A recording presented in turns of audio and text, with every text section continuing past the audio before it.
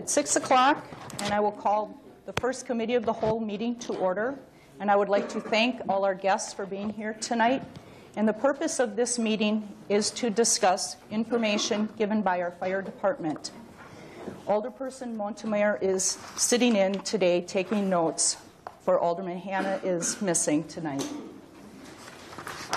Would you like to call the roll? Oh, yes, of course. Alderman Bourne? Here. Alderman Bauk? Here. Alderman Serta? Here. Alderman Gisha? Here. Alderman Hannah? Excused. Alderman Heidemann? Here. Alderman Kittleson? Here. Alderman Clayunas? Alderman Manny? Excused. Alderman Meyer? Here. Alderman Montemayor here. Alderman Rindfleisch? Excused. Alderman Ryan? Alderman Vanderweel? Here. Alderman Verhasselt? Here. Alderman Wangerman? Here. There's a quorum. Quorum is present. Moving on to item number three on our agenda, it is public input, and we ask that you limit your comments to five minutes per person. And we will go in order of the sign-up sheet. Uh, Dr. Susan Martins? Not yet. How about Lori Sellmann?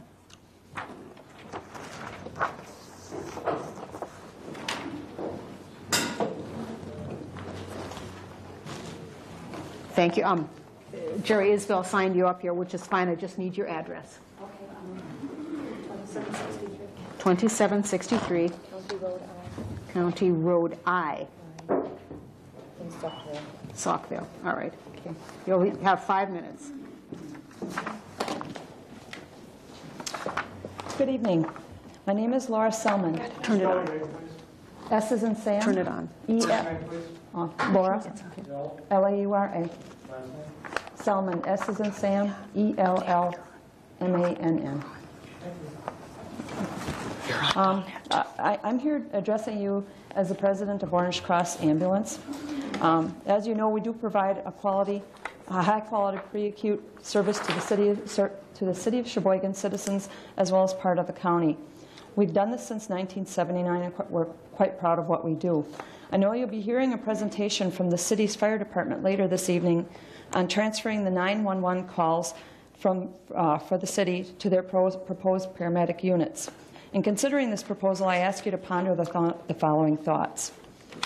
Orange Cross Ambulance has provided this service to the city at no cost to taxpayers. What will you do if the projections that you see tonight are not accurate? Many of our paramedics and their families are residents of the city. What will you say to them as you eliminate their jobs? We have approximately 40 employees. In the post 9 11 world, and even in the view of the recent landmark uh, fire, have you considered the impact of eliminating 40 EMS professionals from our emergency medical system? These EMS professionals do not cost taxpayers a penny, but they are available. And during the time of the landmark fire, we experienced eight ambulance calls um, from Sheboygan residents. Can you be absolutely sure that the high quality level of paramedic services provided to your citizens will be duplicated, or in a year or two will the fire department face uh, what the police department is facing today? As alderpersons, you must give consideration to these thoughts and others before you rush into changing a system that is working extremely well, one that is vital to the safety of our citizens. Thank you. Thank you. Dulcie Johnson.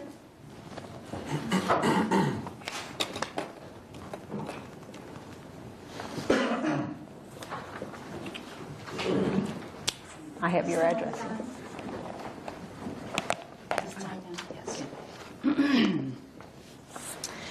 Chairman Meyer and Committee of the Whole. I appreciate the opportunity to speak with you because when issues are handled the way the ambulance issue has been handled, I see lots of red flags. Frantic actions in an attempt to pass documents with the greatest possible speed. A document of major significance introduced not by the chairman of the appropriate committee, but by an alderman in office for only two weeks with the intent of suspending the rules and no opportunity for public input. Is it a slam dunk? Has the vote already been taken? You also have a document authorizing the transfer of funds from the 2007 budget for the purchase of three ambulances and supplies and for salaries and benefits, while the document to transfer ambulance service to the fire department hasn't even been voted on officially. I understand that the plan is to take $500,000 from the $8 million Public Works Slush Fund to purchase the ambulance and transfer $300,000 from the general fund to train four paramedics and purchase ambulance supplies. I thought the 2007 budget was a bare bones budget, a 0% tax increase budget. My taxes went up several hundred dollars in the 2007 bare bones 0% tax increase budget. So, of course, I'm upset to learn that there's evidently an extra $300,000 hidden in this bare bones budget, which raises the question how much more is hidden? Your constituents deserve better. Your constituents deserve and expect open and honest government. Why is the fire department so anxious to assume the ambulance service? I've heard that when firemen have assisted at an emergency, they've asked persons to write a letter to the newspaper or call their alderman about their service. When there was concern in 2005 that the new fire station on the far south side would not be built, I remember then Chief Zier saying that the city wouldn't have to hire any more new firemen because he had three on the payroll that he could just transfer right over there. I talked with Don Van Akron at that time as he was chairman of Salaries and Grievance and suggested that the TO needed to be changed to delete three unnecessary firemen. Of course, nothing happened. When the ambulance issue was discussed in 2005, Chief Zier said he would only have to hire five more people to run the ambulance service. Now we're told there's only need to, for three or four. Does anybody really know? It is apparent that we have too many firemen with not enough to do. but somehow it doesn't make sense to me to hire three or four or five more people with not enough to do and pay them high wages and exceptional benefits. Obviously, firemen are not fighting fires 24 7, and ambulance personnel are not answering emergency calls 24 7. The result is that you are hiring more people with not enough to do. One of the aldermen I spoke with even talked about providing service for the rest of the county. You can't be serious. Is this another primrose path, another too good to be true money making idea? Remember the marina? We were told that someone would pay the city a million dollars to operate the marina. The result is that the city is paying Skipper Bud to run it, and the taxpayers are subsidizing it. Remember Blue Harbor? Blue Harbor is losing money big time. And then there's the recent municipal court, which I'm told is costing the city money because people aren't paying their fines.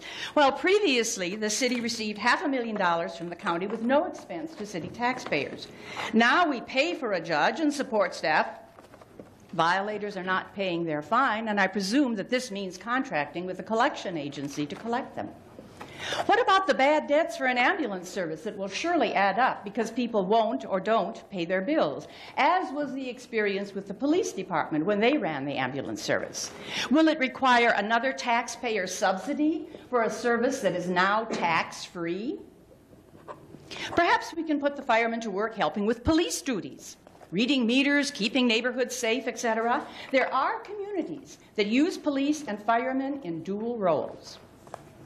I'm told that the fire chief is willing to make concessions, but what happens after five years? Will they then expect to recoup all of their concessions? Why fix something that isn't broken? Orange Cross is doing a good job. Their response times are well within their contract, and the service doesn't cost the taxpayers a dime. Government should not be in the business of providing services that private enterprise can provide. Thank you for your time. Thank you. Uh, Dr. Martins?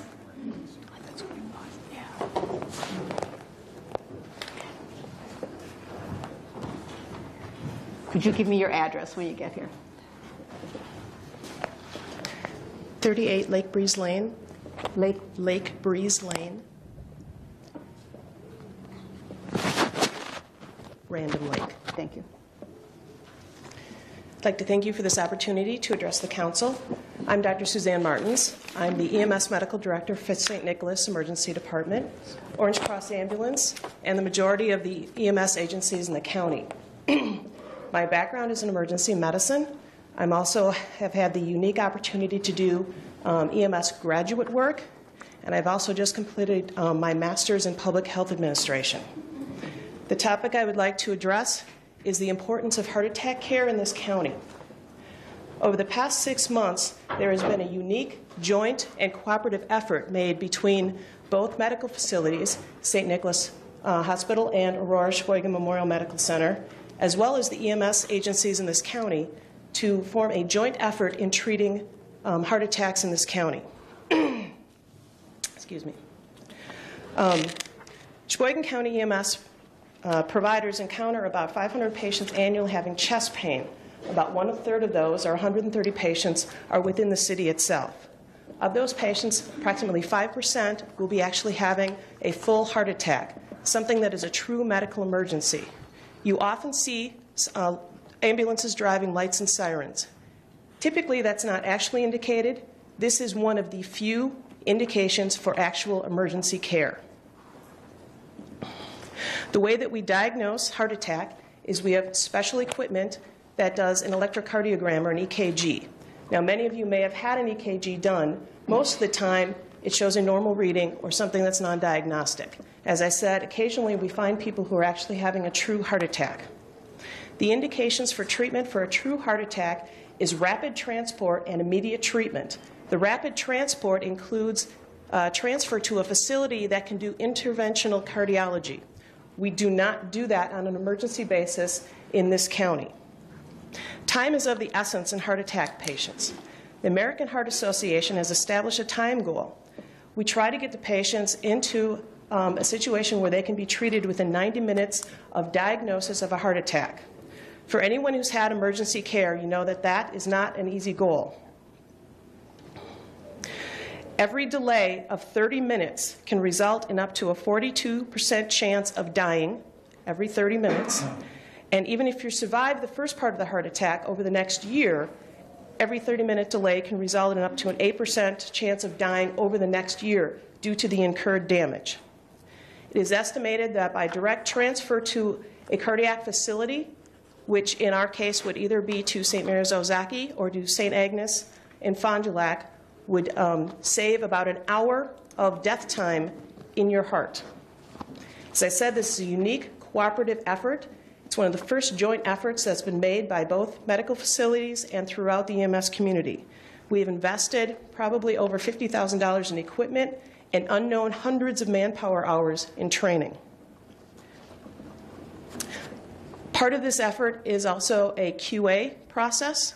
All of our chest pain patients over the past seven years have been aggressively treated, and every single case has been reviewed. The QA process in EMS is something that is not very well defined. It is one of the few things that I emphasize in our program, and it is very closely scrutinized by the EMS providers in this county. Thank you. Thank you.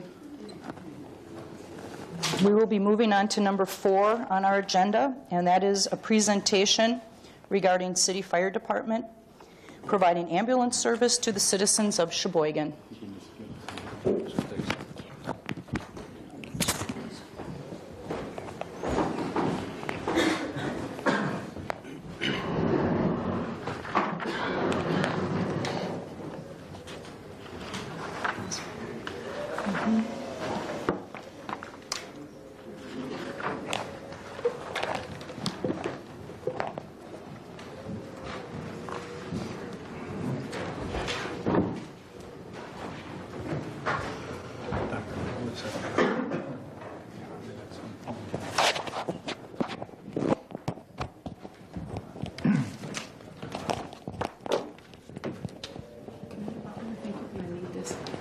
We're actually going to use the mics up here. Okay.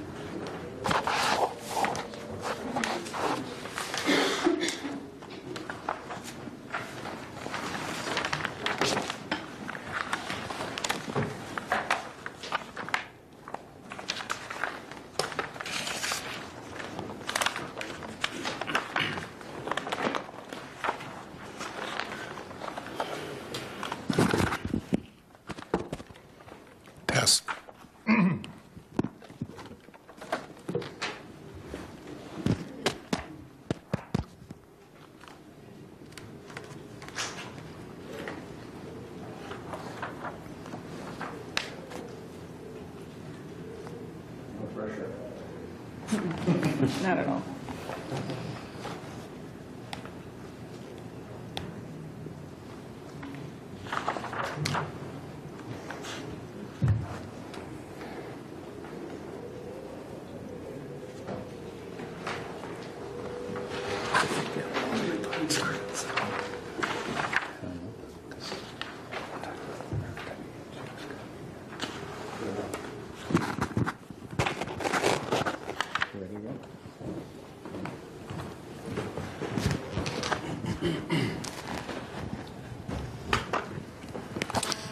Uh, Good evening, everyone. Uh, My name is Fire Chief Jay Tusky, and I would like to uh, thank uh, Mayor Perez, Chairperson Meyer, and members of the council and the citizens for this opportunity to present information tonight.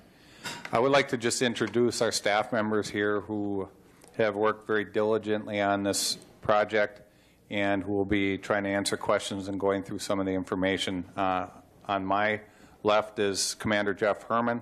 On my right, Commander Chuck Butler.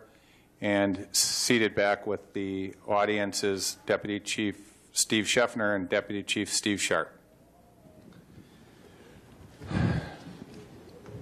As chief of our department, along with uh, my staff, we feel that it's really our responsibility and obligation to bring forth a viable alternative to our current EMS system. Um, This is something that uh, we look very closely at in this time of, of revenue sharing cuts and, and, and taxpayer concerns, and uh, with the hope of trying to maintain level of services and yet do that in a manner that is cost effective to the citizens, um, we have put together this pr- proposal. We're very confident, as we are with um, every other type of operation that we've overtaken throughout the years, whether it goes back to fire prevention, first responder, uh, public education, fire response, technical rescue. We've always uh, approached all these different avenues and areas of our, our profession in a very professional way and a very dedicated way, and we look uh, at this proposal in the same manner. I think there's a, a real concern, and, and I understand the concern that this has been a fast-tracked, uh, kind of fast-moving, not very well thought-out proposal. And I think it's very important for us to lay the groundwork of how we got to our current point in time here.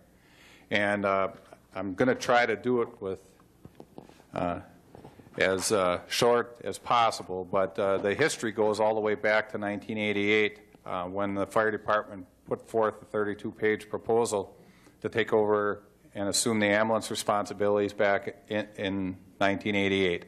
At that time, uh, for whatever different reasons, um, the decision was made to go um, to a private entity, and uh, there was um, a number of five-year contracts between that time and our, our present time where this, uh, this ambulance um, provision of service was, was reintroduced and looked at, and, and decisions were made to extend contracts.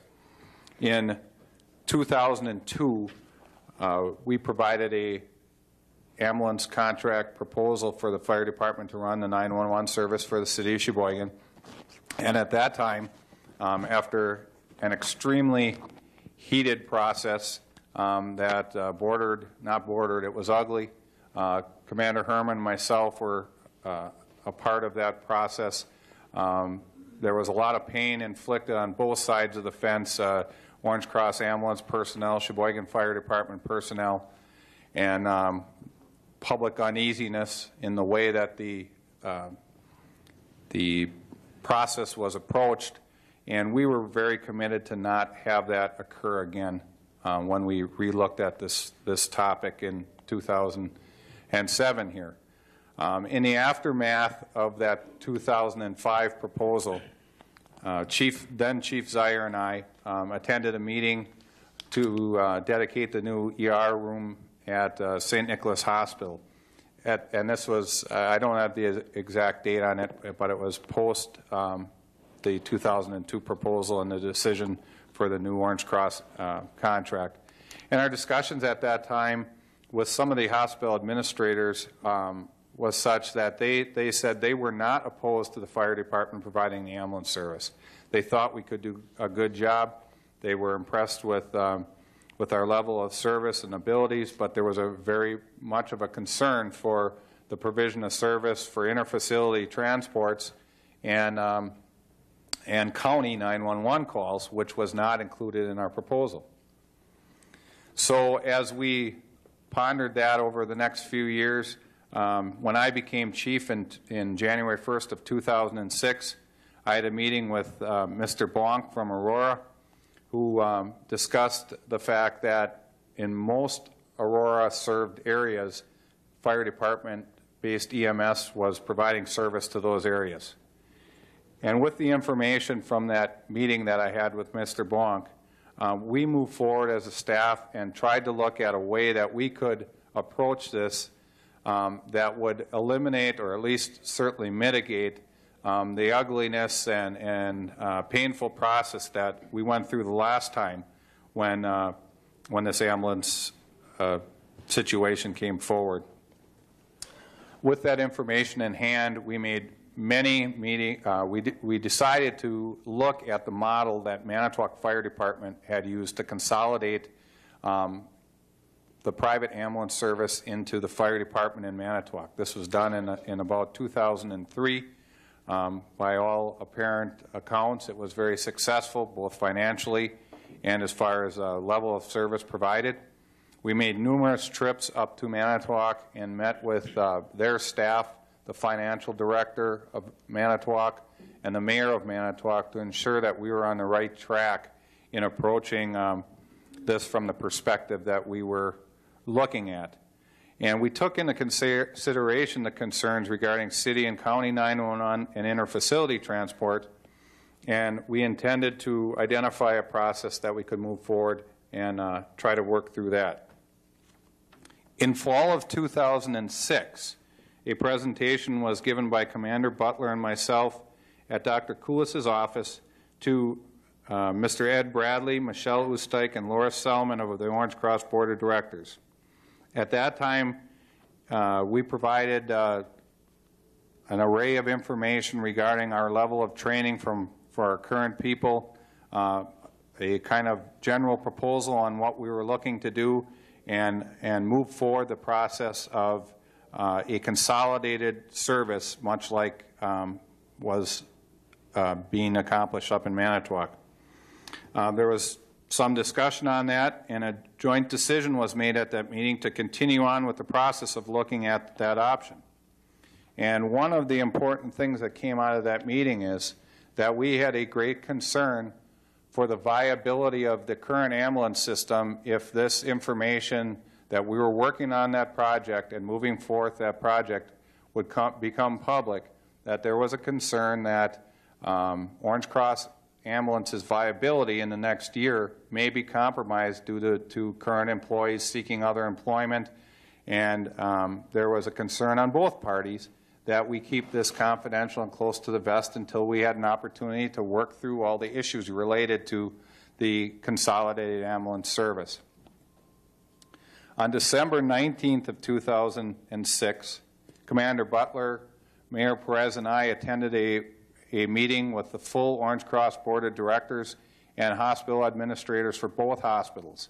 A full presentation was given to them at that time, uh, very similar to the previous one with more detail. And uh, there was a consensus of the meeting to allow the Sheboygan Fire Department and the Orange Cross Board of Directors to investigate the process for, for future consideration. On that same day, on December 19, 2006, that same presentation was given to Sheboygan County Board Chairman Bill Gehring. On January 18th of 2007, I'm just going through this timeline so you have an understanding of how we got, how we got to where we are today. On January 18th, 2007, a meeting was held where uh, several members of the Orange Cross Board of Directors submitted specific written questions related to the consolidation process, and a general discussion was held regarding the possible acquisition of Orange Cross ambulance equipment and the incorporation of some of the Orange Cross personnel into our, our department. One of the last lines written in that um, written communications was as follows. Both the St. Nicholas Hospital and Aurora Memorial Medical Center Board of Directors are agreeable to evaluate the possible acquisition of Orange Cross Ambulance by the Sheboygan Fire Department. On January 31st of 2007, a written statement of reply was sent to the Orange Cross Board of Directors in answering um, the questions that they had brought forth um, in the previous communication.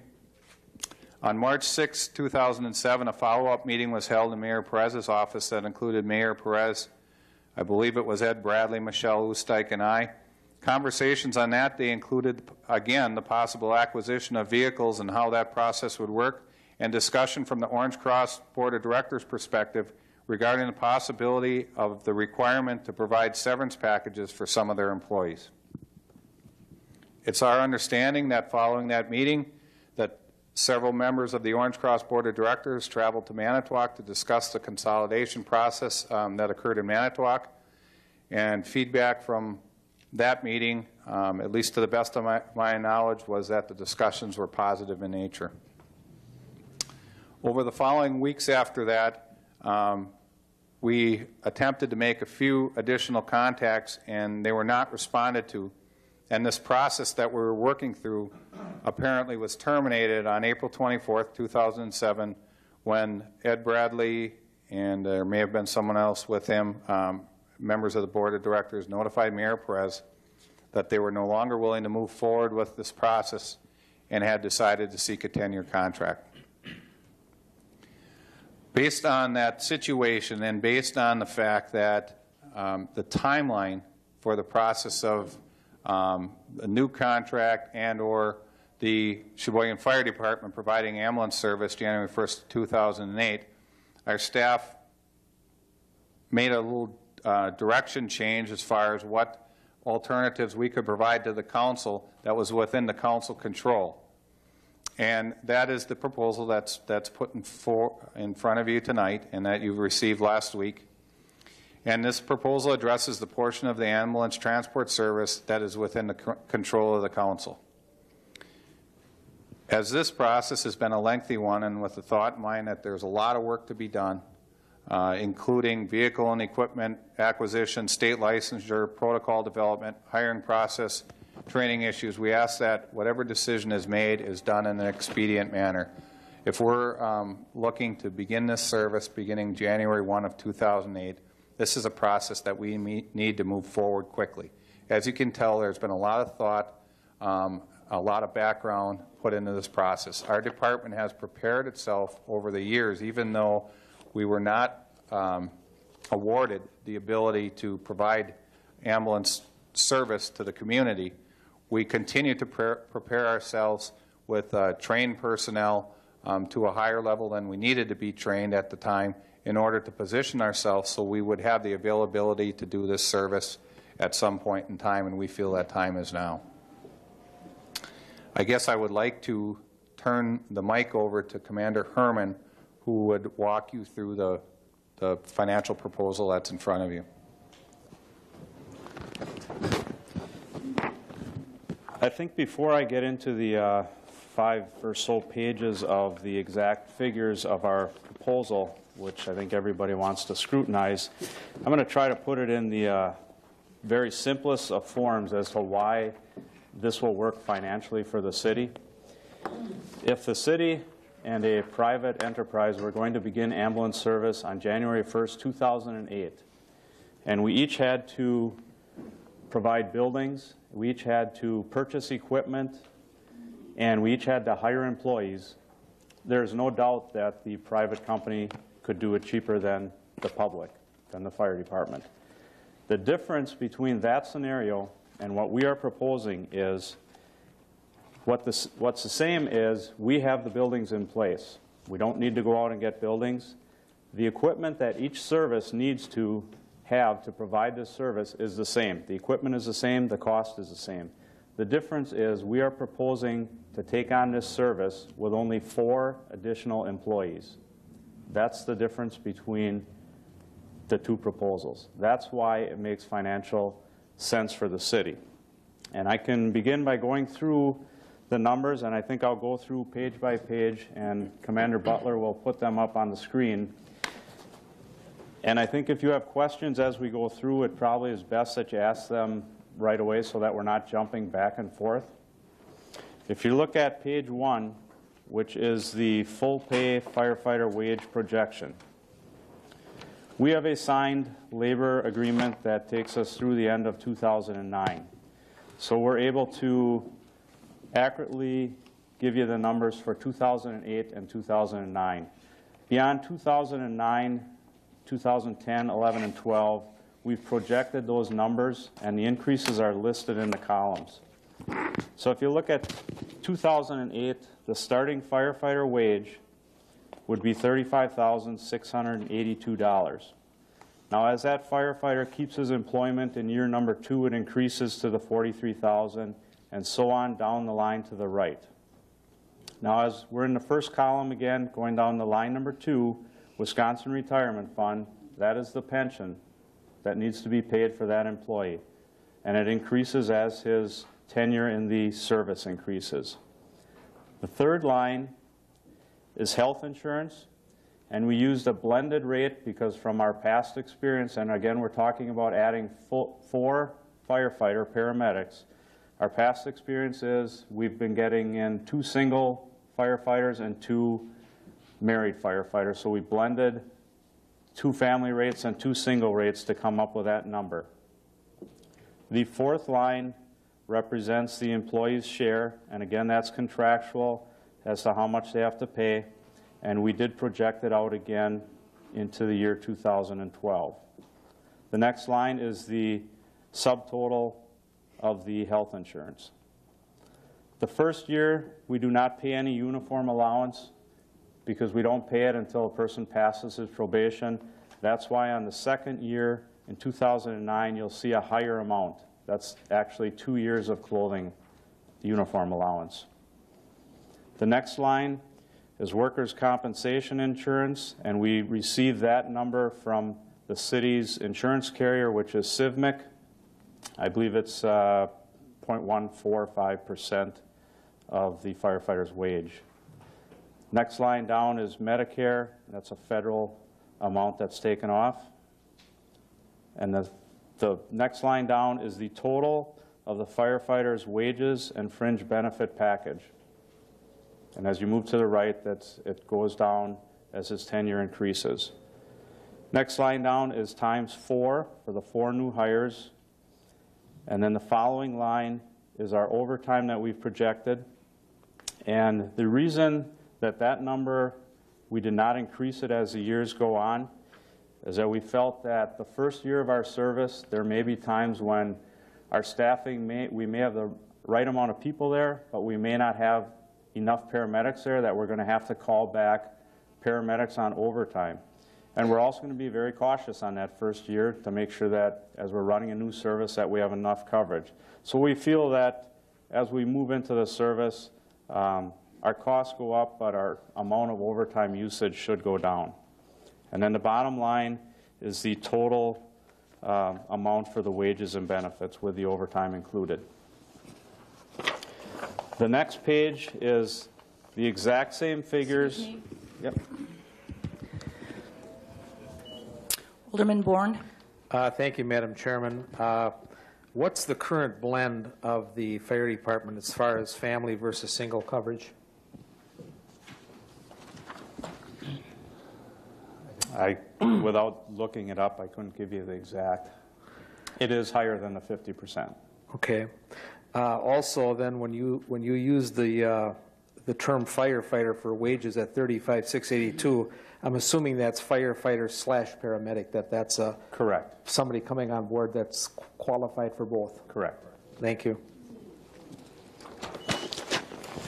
The second page is exactly the same thing as the first page. Excuse me, Commander, we have one more. Okay. I've got a question as far as the wages are concerned. Uh, Most of the departments that already handle this uh, ambulance service, are those employees that are paramedics, are they paid at a different rate than a normal firefighter? Uh, Typically, throughout the state, you'll see an average of between probably 4 and 6% as a premium pay for paramedic. That is not figured into this proposal, um, simply because that's a negotiated item. If we put a set dollar in here, that would really tie our hands as far as negotiating. We do have um, an assurance from the local firefighters union that they will work with us to implement it and some site, some type of a step-in, phased-in program. Okay, so then after, uh, since we're only looking at a three-year contract here, so then there's a possibility that uh, we go into negotiations after the three years are up, and the union says, well, we want to have more money for those paramedics. And uh, we come to a, a situation where uh, we can't meet a resolve, you can't, department heads, and we can't work it out to keep it at the same rate. It goes to arbitration. Where do you think that's going to come down? If you want to look at, uh, we did figure it out in the worst-case scenario, or the average, which would be probably a 5% premium pay, at a full-paid firefighter would be roughly $35,000 per year. For everybody. For everybody? Yes. Okay. Okay. Alderman Bulk, did you have a question? I I do, thank you. Uh, This goes up, the the pay goes up 70% over a four-period set of years. Is that, is that typical for a a new firefighter hire? Our, That's a uh, remarkable increase. I'd like to sign up for that plan. Our starting pay is relatively low compared to the statewide average. I can assure you that the next five years after this does not go up at that rate. This, their next ra- pay raise after this is at 10 years. Okay. And that's consistent with whether they're a firefighter or whether they're Correct. qualified as both? Correct. Thank you. Okay, thank you. You can continue. The second page contains all the same figures as the first page, only the starting firefighter wage is projected out through all five years. So each column has what the starting firefighter would make in that year. Because our turnover is an average of three people per year retire, and we hire three new. So what we typically always have somebody at that lower range of our pay scale.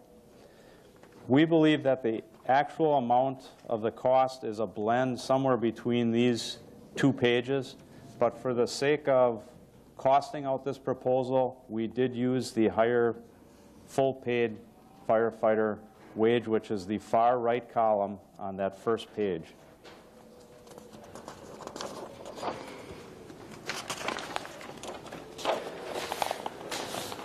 Moving on to the third page, miscellaneous expenses and revenues. Disposable medical supplies was taken off of uh, the current provider's numbers, and that's at $30,000.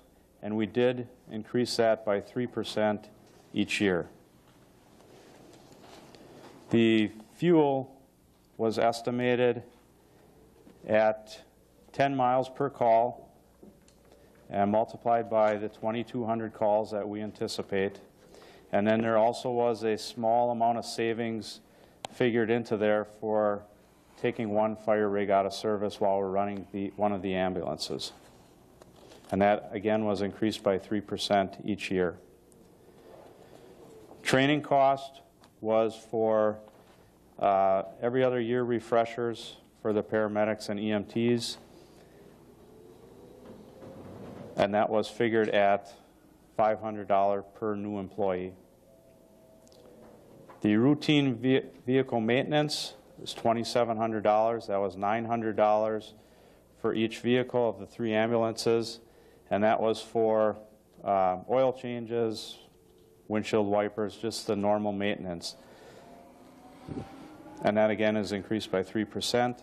The non-routine vehicle maintenance, there's no number in the first three years because the vehicles would be under warranty. And then years four and five, we did add $1,200 each year for things that weren't covered under warranty. Ambulance insurance, again, is a number that we received from the city's insurance company, and that's at $800 per vehicle. And the liability insurance, again, uh, from the city's insurance company, that's $1,000. Our billing costs, we have a quote A minute, Commander? Alderman Bulk? Uh, Just a couple of questions about liability.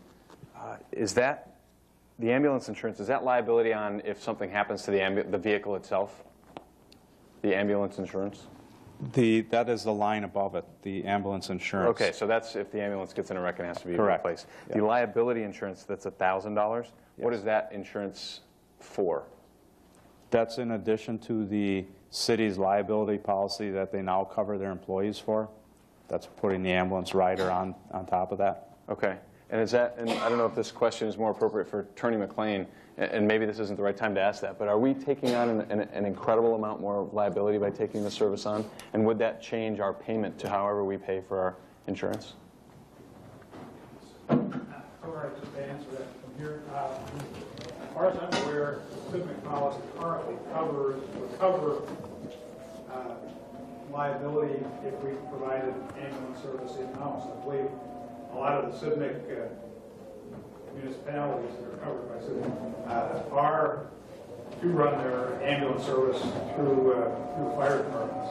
I believe, I looked at the policy today, uh, there are some exclusions, but uh, the the exclusions have exclusions for ambulance service. So uh, I haven't checked Civic, but it's my understanding that if we provided uh, city fire department-based uh, ambulance service, that would currently be within the policy, which is paying premium for now. We've got uh, a million dollars of coverage, and then there's an eight million dollar umbrella. Okay. As far as liability, uh, it's certainly the more activities you engage in as a city, the more possibility you get for claims. Uh, Medical one that is sort of right for that. Uh, You know, there are some exclusions, some protections, recreational immunity is one uh, that may help to avoid paying out any insurance uh, you know. Also, the Civic policy, while we've got insurance, it's hundred thousand dollar uh, self-insured retention. In other words, we're out the first thousand dollars for a claim, then the insurance kicks But the fact that we're taking on so much more potential for disaster, that's all covered as you see it in the civic, civic policy as it exists today. Well, up to uh, eight million dollars. Okay. And I think it's, uh, you know, that's in the aggregate. I believe it's two million dollars per occurrence, something like that. Okay, thank you. Okay, Thank you. Okay, Please continue. The billing cost is a quote that we have from the Manitowoc Fire Department at $18 per bill. That's 18 times the 20, uh, roughly 2,100 calls, I believe, comes up with the 35,000. And that again is increased Just a minute. Alderman Bourne. Well, Commander Herman, finish your explanation on the, uh, on the billing costs, and then I have a question. If you have anything else you wanted to add to that, or? Just that it's increased as we go down the year by the amount of projected increases in call volume. For that, thank you, Madam Chair. Uh, For that $18, what, exactly what services are Manitowoc going to provide? Uh, Who's going to do the initial billing input into the Manitowoc system? Uh, Is there going to have to be a person in your department that ans, that wants to, ask, Mrs. Jones, that wants to ask why isn't her bill being paid by her insurance or Medicare? kind of run me through the scenario of what we're going to get for the $18 and if you anticipate having to do anything locally. I'll refer that question to Commander Butler. As we, uh, as we understand it currently from Manitowoc Fire Department, um, they currently use a software program up there. They have people in-house for their billing. Um, The $18, basically, what we would have to do to input information into the system for billing is we use Field Data System. Um, It's basically a remote access to their billing system. Everything is done through Data Link. Um, All of the information is properly coded, sent directly to Manitowoc Fire Department, and uh, they would handle all of the uh, initial billing requests um, and the invoices and things that are sent out. Um, The only thing that's not really included in that system would be what the city would decide to do with bad debt collectibles. Um, We would be able to use a service of our choice, whether it's local or whatever, and then uh, that that would be our decision how we handle that. Uh, Who would, who would do that locally then? I mean, would, Would there be another clerical person that would, would handle that, or going after bad debts? Uh, How would that be handled? We anticipate using an outside firm um, of the council's decision or choice. I mean, it's not really our decision to make um, whether, uh, whether the council would decide to use somebody locally or otherwise. Right, and the actual, the actual coding and the input is actually done by the paramedics. When they do a, um, when they fill out a run sheet, if they would actually go on a call, when they put that information into their computer, the information is automatically coded um, to meet the needs of Medicare, Medicaid, and all of the insurance companies, and, and that information is forwarded directly. So there'll be no, no additional personnel needed for our local billing service other than the outside private um, collectible agency. And you'd have, you would have policies established as to when uh, debts become old and when you want to put them out for collection and all that? That all has to be done as far as your ongoing policies, what you're going to develop then? Absolutely. That's, that's obviously out of my hands, but I fully expect that the council and the rest of our staff would have input into our philosophy on collection. And uh, there are certain things that you don't want to push too hard. You know, it's something that we would have to absorb as, as maybe a, a negative influence on the department or a negative uh, view by the public. Um, certainly that would be something we'd be very concerned about. Thank you. Thank you, Alderman Bourne. Alderman Manny? Thank you, Madam Chair. Uh, Would it be possible for Orange Cross to be the billing agent, given the technology that you'd be using? That would be possible. Um, I guess if they wanted to give us a bid that is cheaper than the $18, I, we only went out and got one price, so I think before we did ultimately choose to use Manitowoc, we would shop that price around.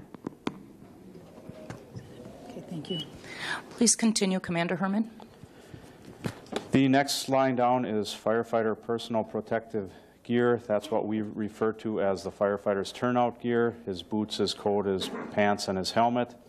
That is at $2,500 times the four new employees. The reason that it's not included in any of the succeeding years is because that is done uh, as a normal part of the fire department budget when we have uh, three to four people retire and replace them every year. That's already included in our budget. The next line is EMS equipment and repair. That's if somebody drops a radio or drops one of the monitors. Um, that's for the repairing of that equipment. And again, we did um, think that we were very cautious on that amount and, and did put a sufficient amount in there.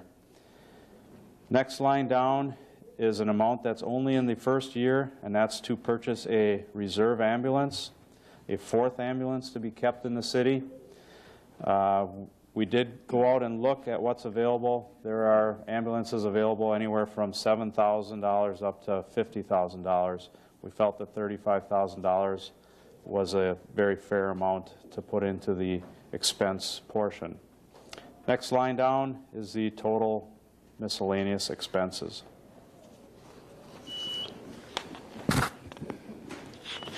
Alderman Gisha? Just a quick question, um, Commander, on this page, uh, FAP funds from state.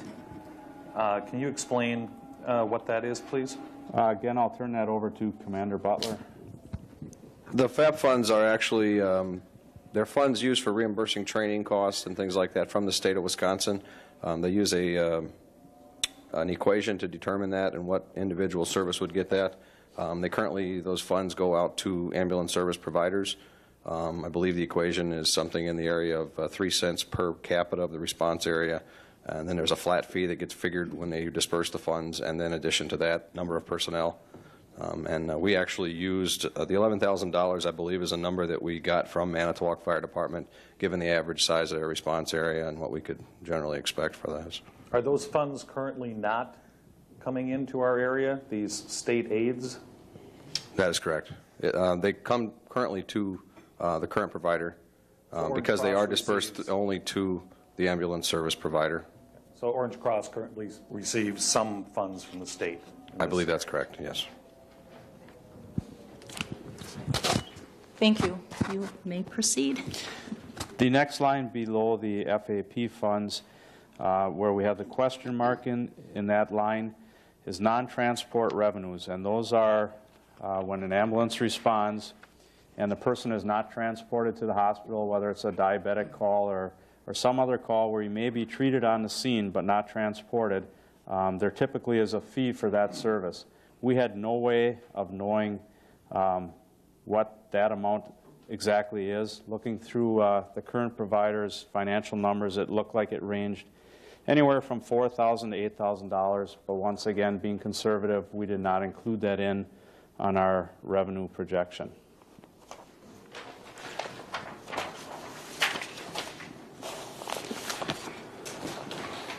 Moving on to the next page is our call volume projections. Um, we took these numbers from the fire department records and from the Quality Assurance uh, Commission. We did uh, factor in a 3% increase in call volume every year. Um, the past five years, the fire department has seen about a 4.4% increase in our call volume. Uh, Manit- City of Manitowoc is experiencing roughly the same. Uh, again, we were conservative in our numbers and figured in a 3% increase. The number that you see in that same box in the, the bold number, that is the actual uh, number of transports. Uh, what we're typically seeing is 15% of the calls the person is not transported to a hospital. So the bold number is the one that actually could be billed for.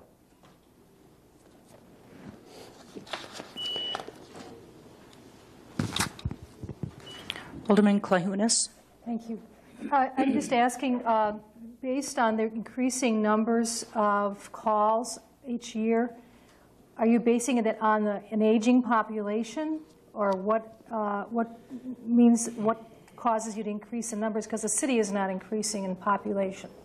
What? Um, I guess I couldn't tell you exactly what the number is. We just uh, took that increase from going back five years and looking what has been happening in the past five years, and from Okay. talking to other cities to see what the what the average has been.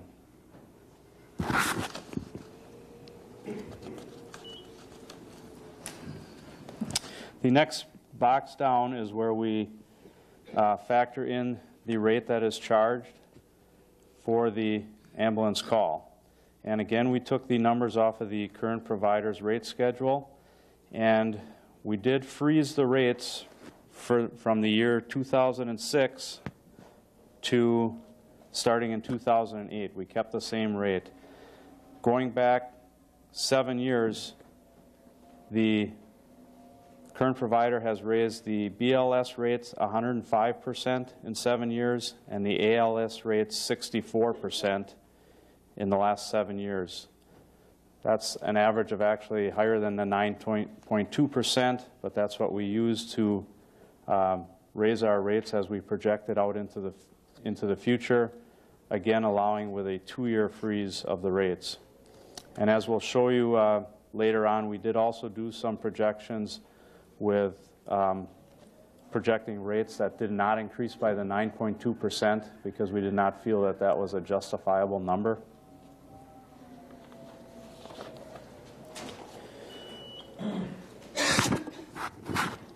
Alderman Bourne? Thank you, Madam Chair. Do those rate increases that uh, Orange Cross has been experiencing, those rate increases, have anything to do with any reduction in Medicare or medical assistant reimbursements? What's, what has been the trend on those reimbursements the last four or five years? Have they been staying the same? Have they been going down? What's the experience been? It's my understanding that that's a fixed rate for the Medicaid, Medicare, and the how much you raise the rates does not affect how much you get back from Medicaid, Medicare. Uh, that doesn't answer my question. The rate increases that Orange Cross has had now the last few years, what relation to those increases does uh, the Medicare, Medicaid reimbursement factor in? Has, has what the government's been reimbursing for Medicare, I understand it's $337 a call, has that been staying the same or has it been going up or down? What, and also with, with medical assistance, what's, what's the relationship between the rate increases and what we're getting from the government for those calls? that, the Medicaid, Medicare rate has been going up approximately 3% a year. Medicare and Medicaid? You're Correct. Okay, thank you. Does that answer your question? Yes, thank All right, you. Thank you. Please go on. Moving on to the next box is a revenue projection based on the percentage of ALS and BLS calls. And from our, from our research with other departments and talking to Manitowoc, because our proposal is not taking in account interfacility transports, which are between nursing homes, which are almost always 100% Medicaid, Medicare, they expect us to see um, about a, a 60-40 split. Is that correct? On the ALS, BLS? We figured in a 50-50, um, just to be conservative again. So if you multiply our amount of transported calls, which are the bold letters on the top, by the rates for BLS and ALS, you will come up with the numbers that are the pro- revenue projection.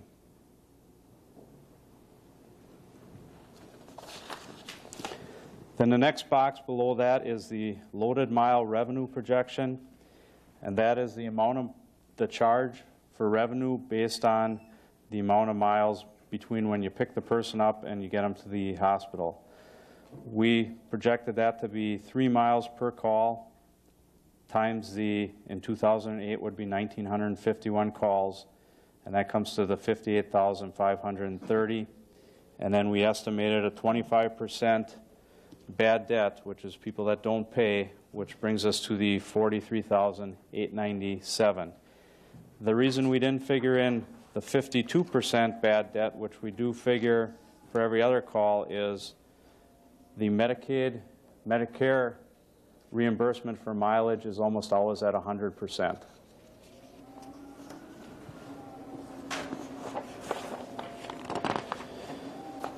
Moving on to the next page, which is our projected revenues.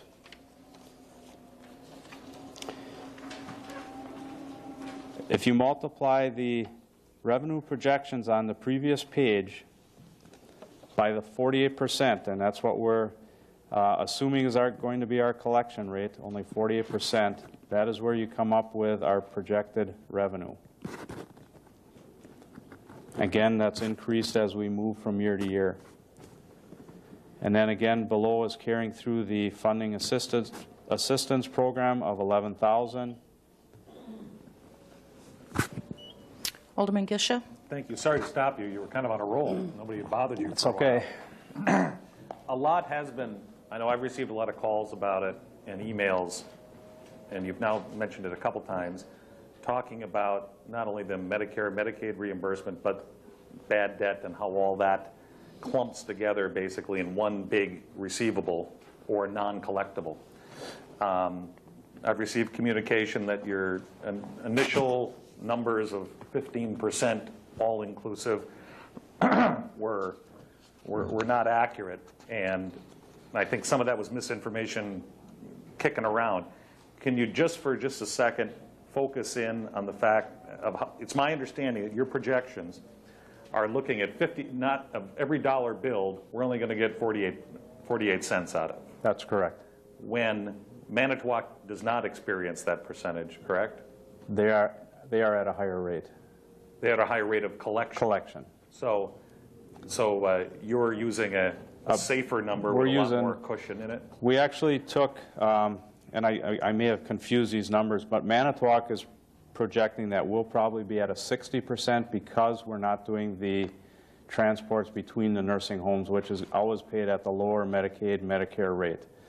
That we won't have as many of those as what they're seeing, so they're predicting we'll be at a 60-40. The 48% uh, collection rate, we actually took right off of the current provider's document that they provided to council, I believe, last Monday, stating that they are at a 48% collection rate, so that's what we used. We firmly believe it's going to be a little bit higher than that. Thank you. Thank you. Uh, Again, the FAP program, $11,000, we carried that through. The mileage revenue, carried that over to this page, for a total projected revenue of $675,235. If you go down, our employee costs of $271,000. And again, if you look back to the first page, that's column number one. That's at the bottom there. And then our miscellaneous expenses of $130,218. Our equipment lease is of $78,269 is a backloaded lease of three brand-new ambulances, um, a seven-year lease program. That amount is due at the end of the year, so there aren't as much upfront costs. At the end of the seven years, it's a lease-to-own program. The ambulances are ours. So the total projected expenses is $479,487. When you subtract that from the 675,235, you come up with a projected total net revenue of 195,748. And unless there's any questions, I think I'll have Commander Butler hand out. And again, this is projected at, the first year would be at the frozen 2006 collection rates. Um, The following figures are at a 9.2% rate increase, and we don't believe that that is a fair amount. And again, that would be subject to council approval. We have run projections out at increasing the rates by 3% and 5%. And again, that will show as a projected net revenue in the succeeding years. Alderman Klein-Willis. Thank you. Um, Question, how will you track this um, within the fire department budget? Um, You know, because sometimes the paramedics will be doing fire calls. How will you be able to show that this is where you're at, this is what we're doing, these are our expenses, this is our income? How will that be tracked? Do you have a separate accounting system you have set up for this, or how will you do that? That's why this is one of the easiest way to show whether or not this is going to make money or lose money. You already know what the fixed expense is for your fire department in this city. You'll be able to, we can see what our fixed expenses are for providing the additional service.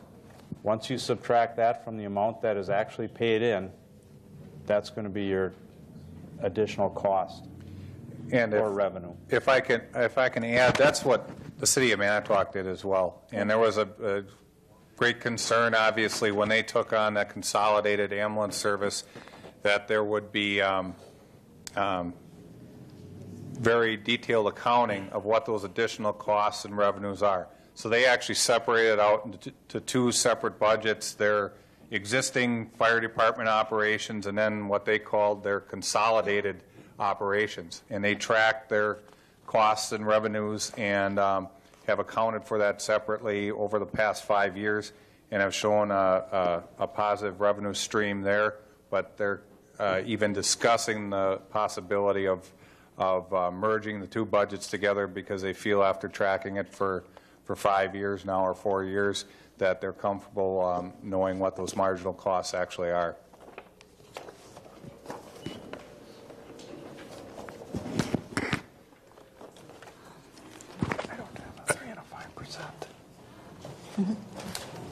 And also, one thing I, I might add um, in regards to the equipment lease, um, these, these leased ambulances are going to be state-of-the-art ambulances. We utilized um, the equipment list that Orange Cross Ambulance provided to the council last week um, to spec out uh, um, a fully equipped ambulance, including uh, communications, technology, um, computer equipment to allow us to uh, essentially have a unit that's, that's ready to go uh, upon uh, accepting uh, delivery.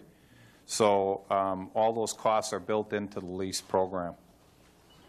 Alderman Vanderweel? Thank you, Madam Chair. Um, I don't know if this is the appropriate time, but we're almost at the end, and everybody's looking at these sheets. I, I did want to explain why my name isn't on this the document that we're looking at tonight. It is because I was unable to look at the proposal before we had to get this document to Sue Richards, And uh, since Alderman Reinfleisch is my vice chair, and he was able to look at it, we put him on the document instead. It, there was no other reason than basically for convenience. And um, since history shows we usually debate this here and then we'll debate it on council floor also, in an attempt to maybe limit the debate here, I'll make a motion to uh, send items number five and six, those two resolutions, to council with a favorable recommendation. Second? Second.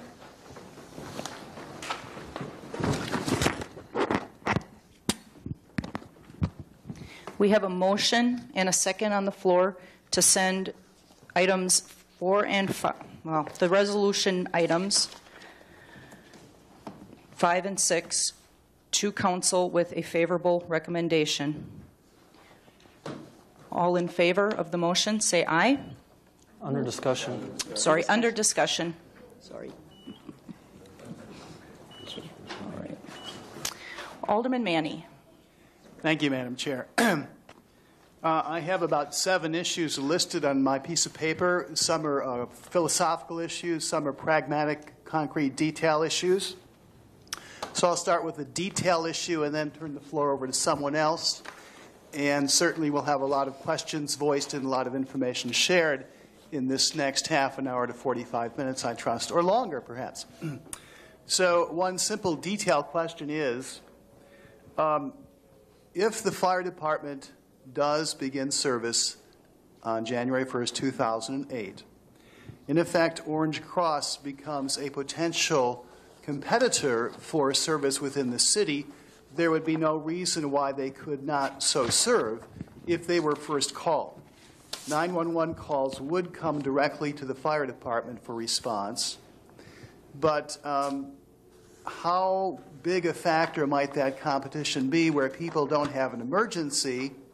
but they have a need and they have a tradition with Orange Cross and a trust with Orange Cross, and therefore they call Orange Cross instead of 911, and in effect then adversely affect the bottom line in revenue.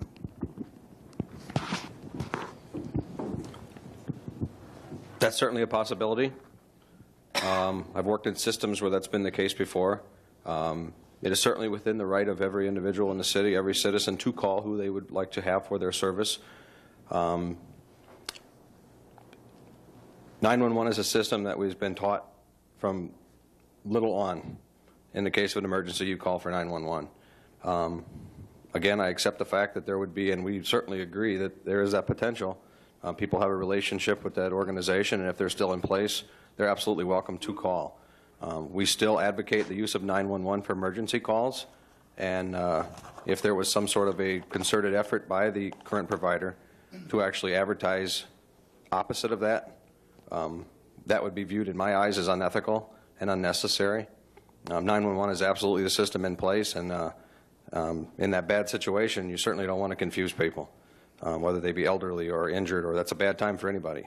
Um, so again, that's everybody's right, but um, there's really no way to project that at this point.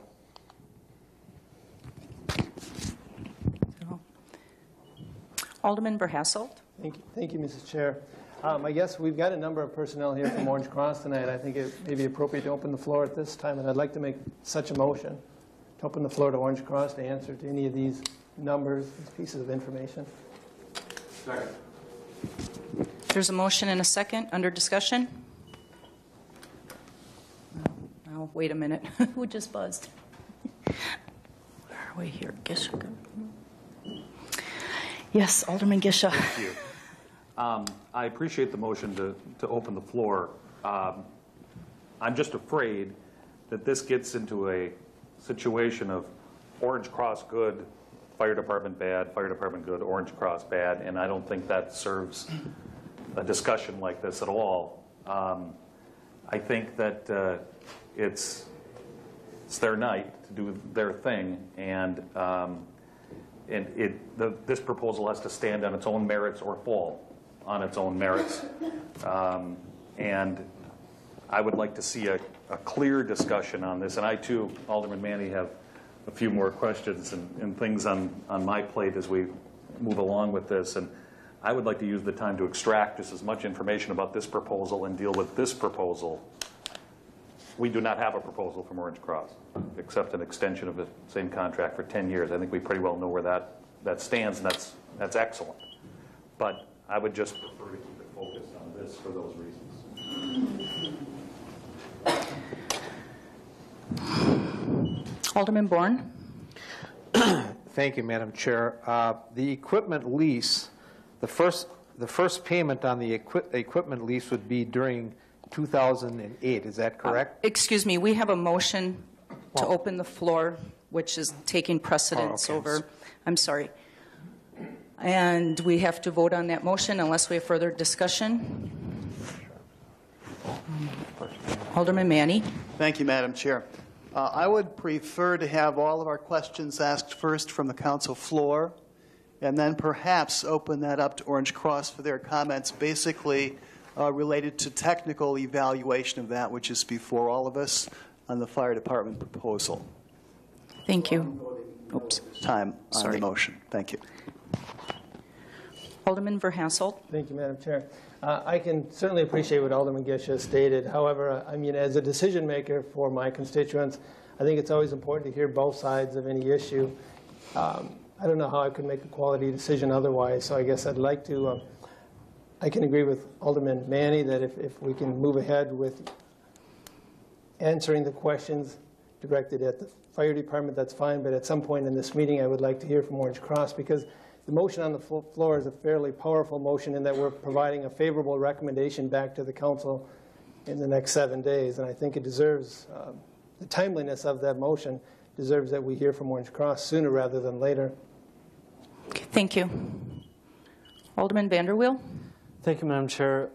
As the motion was stated, I would not uh, agree with it if it was stated that one representative from Orange Cross, if we would hear, if we would have a question answer period with them, I would be in favor of it. But Orange Cross, in general, we could have five, six people up here. But if, if we would state that one representative, then I would agree to the motion. Thank you. Alderman Gisha?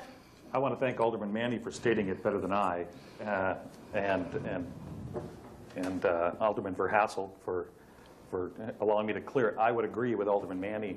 If we can get through this, I have no issue with with uh, gathering information from Orange Cross. That's why I was there at their office at 7:30 Friday morning. Uh, They're wonderful people with a lot of great data and information. I'd love to hear from them even more than I did last Friday, but if we could, if- if you wouldn't mind amending your thoughts to ending one and then starting another, if that would be appropriate, I would, I I agree with Alderman Manny, that would be a wonderful opportunity. Okay. Alderman Bauk? I I was going to uh, support Alderman Verhassel in that we would want to hear from them before moving on because this is s- such a powerful uh, issue before the city, and the city cares a great deal about it. I think we've come to a place where we can vote no now uh, and then invite them up later. Alderman Verhassel. Thank you.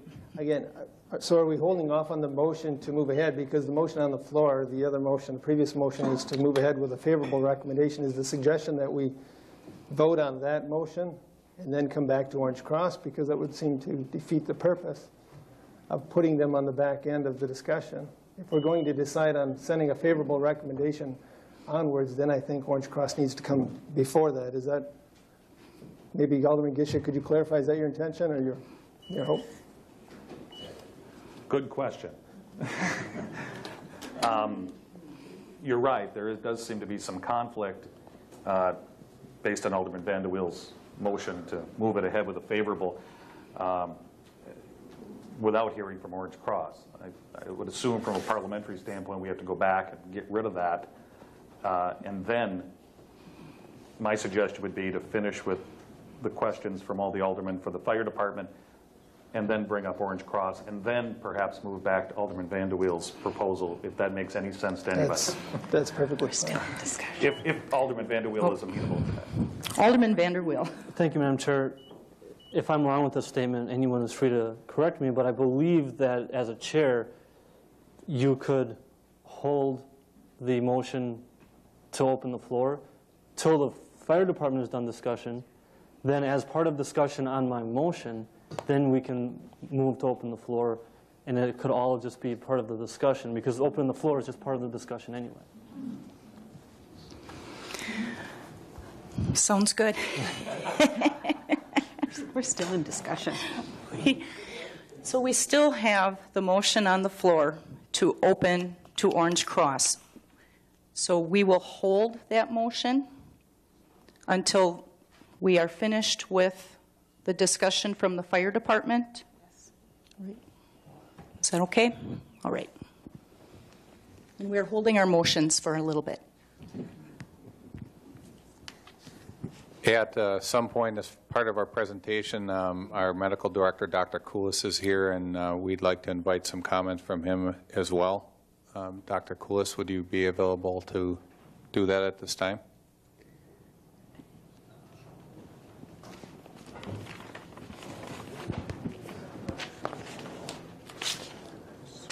You. Thank you for the privilege of being up here to speak this evening. For those of you who don't know me, my name is Louis Koulis. I'm a clinical cardiologist, and I've been in this community about going on 15 years. I've had the opportunity to be involved with emergency care, specifically for cardiac patients, uh, during this time. Um, and I've been involved with Orange Cross in one way, shape, or another, on and off during this period of time. I became medical director for the fire department, and I know this is a very emotionally charged uh, issue this evening, but I became a medical director of the fire department because, from my standpoint, while it's a system that does provide care, it's not an optimal system. And I think that what you have before you this evening is an opportunity to change the paradigm in which care is delivered in this community. And what I did see this evening was everybody going through line by line of what things cost, what's going to be the projection, how are things going to run. This is accountability, and this is what you should have from the folks who are providing your care in the community. And this is something that I think was actually positive this evening.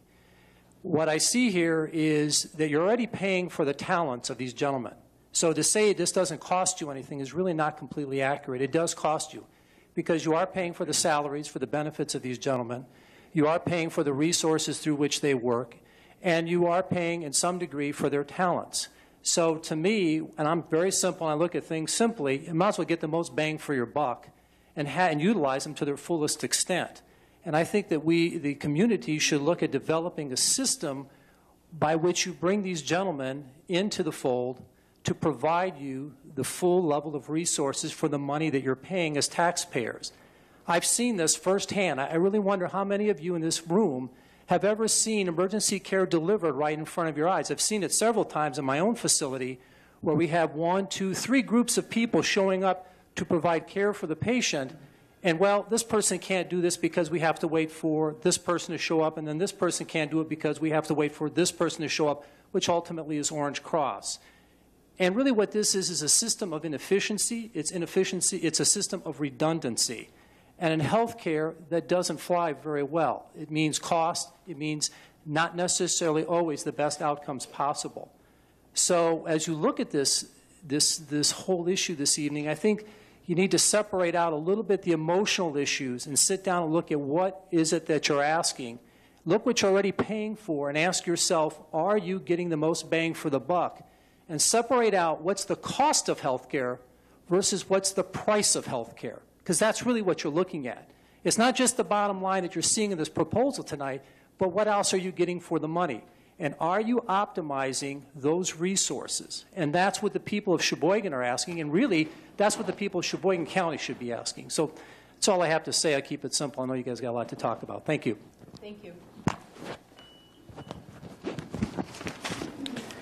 Alderman Manny. Thank you, Madam Chair.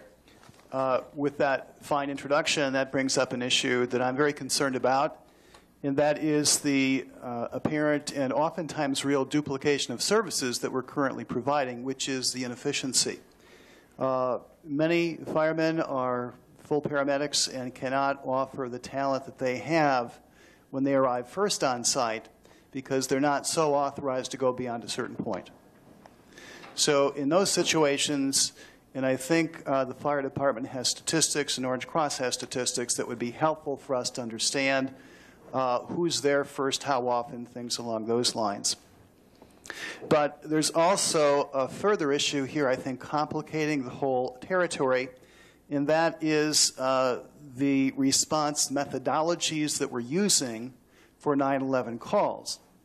And I need further education about that. I believe the monikers would be EMD, that would uh, define or, or, summarize the response uh, prioritizing that's an industry standard, perhaps. Um, I'm wondering if a sharper use of that methodology might erase some of the current inefficiencies. Um, I'm just throwing this out there as the devil's advocate. If we didn't change uh, current status, would utilizing EMD or the appropriate um, procedural policy, would that better improve the efficiency of what we're currently doing? So I'm beginning to get nebulous about this, but you know at least what I'm talking about now. So some comments along these lines would be helpful, I think. Comment? Well, I think in either system, whether it's our existing one or uh, change the fire department proposal, fire-based ambulance, um, the EMD system probably would accomplish what you're talking about. And I don't know that it would particularly be beneficial in either one or the other system. Um, what I look at is, and I think Dr. Koulis touched on it very well, is that we currently have a vast pool of resources available to the community that are untapped. We currently have 40, 42 um, EMTs, 42, or excuse me, two IVs, techs, and uh, 11 paramedics that at this point in time are only allowed to work to the um, level of first responder. And to me, that's, it's, it's uh, again, a large untapped pool of resources. It, to me, it's a, it's a crime that we're not fully utilizing these people. Um, the fire service has changed so much over, over the years that paramedic firefighters is, is the rule, not the exception. Um, Sheboygan is one of the the odd ducks out, I guess, if you want to look at it, as far as fire, fire-based EMS in the state. Uh, you know, I've heard different numbers, but roughly 50 of the 53 major cities in the state of Wisconsin are running fire-based ambulance services at this time. So we're not looking to do something that is unique to the service, and we're looking to actually fully utilize and, and realize the resources that we do have available now that we're not able to, to realize because of the limitations based on provider licenses and such. Thank you. Alderman Kleyhunis. Thank you, Chairperson. Um, one thing, the EMD, which is, means emergency medical dispatch, we, I, do we have the software and the capability of doing that right now? The, does a dispatch, does anybody can speak to that from dispatch, that in other words, when a call comes in, there's a series of questions that the person would be asked, and it would, um, uh, what do you call it, um, triage the case. So that, in other words, this is, this is, a, this is a, a case where there's a danger of fire or rescue as well as a danger of health and injury. Or this is just a case of an injury, and um, you know maybe it's you know, someone scraped their knee. Uh, someone can go into a panic for that. That somehow that this could be delineated so that we don't have three vehicles running to the scene of a skinned knee uh, because it's been triaged out that this is all we need. Can we do that now? Are we working toward that? It's my understanding that the City Police Department Dispatch Center has some documentation and some um, items to assist them in making those decisions on there. I do not believe that they are officially trained and in place to do EMD right now at this point. Um, they do the best they can with what they have to work with. I do believe it um, within the police department budget has been somewhat cost prohibitive for them. Um, that is something that we also would like to take a look at. On a more uh, casual, not quite as formal level of EMD, um, bringing the ambulance service into the control of the fire department here in the city allows us the ability to, between active units and response units, we can send the appropriate, by just conversation, face-to-face, or by our shift commander um, appropriating the proper resource based on how the call comes in. So um, in a contractual situation, um, you're kind of left to whatever it comes in, you have to respond a certain way to it, and that's how we respond as Code 3 to those types of calls, um, whether they're emergency or whether they're in question as being emergency. So um, to answer your question, I guess going back, I do not believe they are officially in place to do EMD, um, but with further training, that would certainly be something we could do. Alderman Bauk. Thank you, Madam Chair. Uh, With regard to the competitive pressure question, are there benchmarks out there? Are there municipalities that have uh, fire-provided ambulance and a commercially available service? And can we know what that, uh, how often people dial the commercial service instead of 911? Is that a number we can know better than we do right now?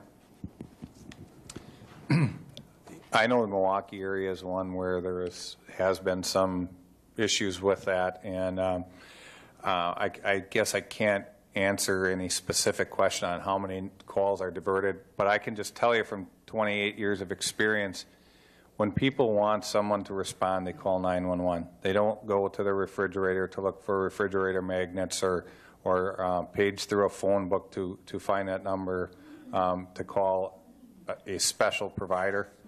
Um, I would believe that um, we probably get more 911 calls than we should. Uh, people call 911 for all different reasons uh, that aren't emergencies.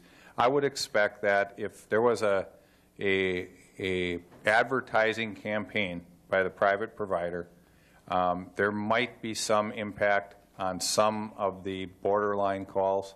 I don't believe that the 911 system would be compromised as such.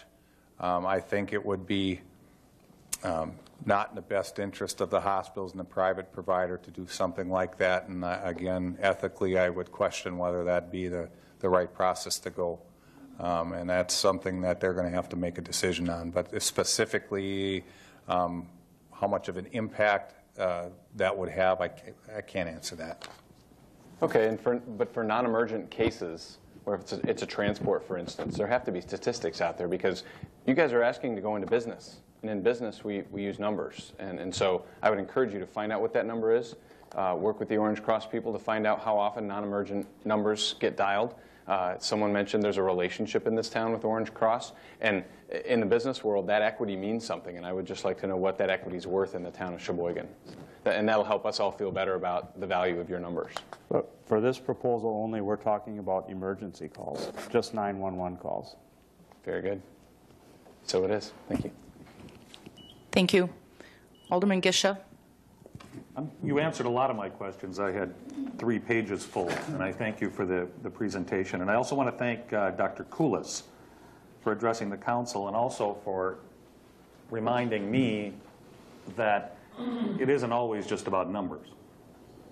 I tend to get wrapped up in that, and because we've been talking numbers on this for the last couple weeks. But it is about efficiencies, but it's about the people who call 911. And uh, uh, whether it be Orange Cross, because they've said wonderful things to me about the fire department, whether it's the fire department who said wonderful things to me about Orange Cross.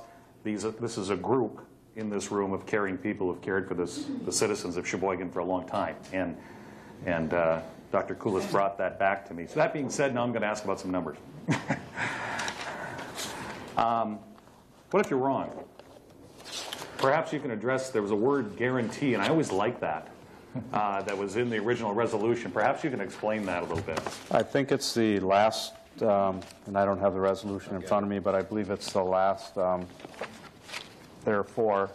Um, We have given the council a guarantee, and this is not something that um, the three of us sat together here and just came up with. Um, I went to many, many seminars five years ago um, when this proposal came forth, and it was something that was pitched to uh, fire departments as a way of integrating this service by giving a guarantee that says, if we do lose money providing this service, you can take it out of our budget.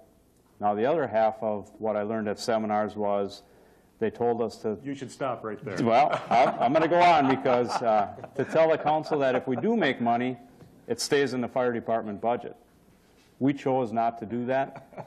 What happened in other cities was the fire department made quite a bit of money providing this service, and their budget was rich. Other city departments were jealous, and it caused nothing but problems.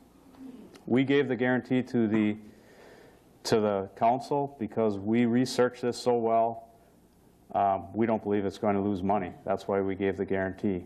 If it does, we'll take it out of our fire department budget. Doesn't come out of the, out of the DPW, doesn't come out of the PD, comes out of the fire department budget.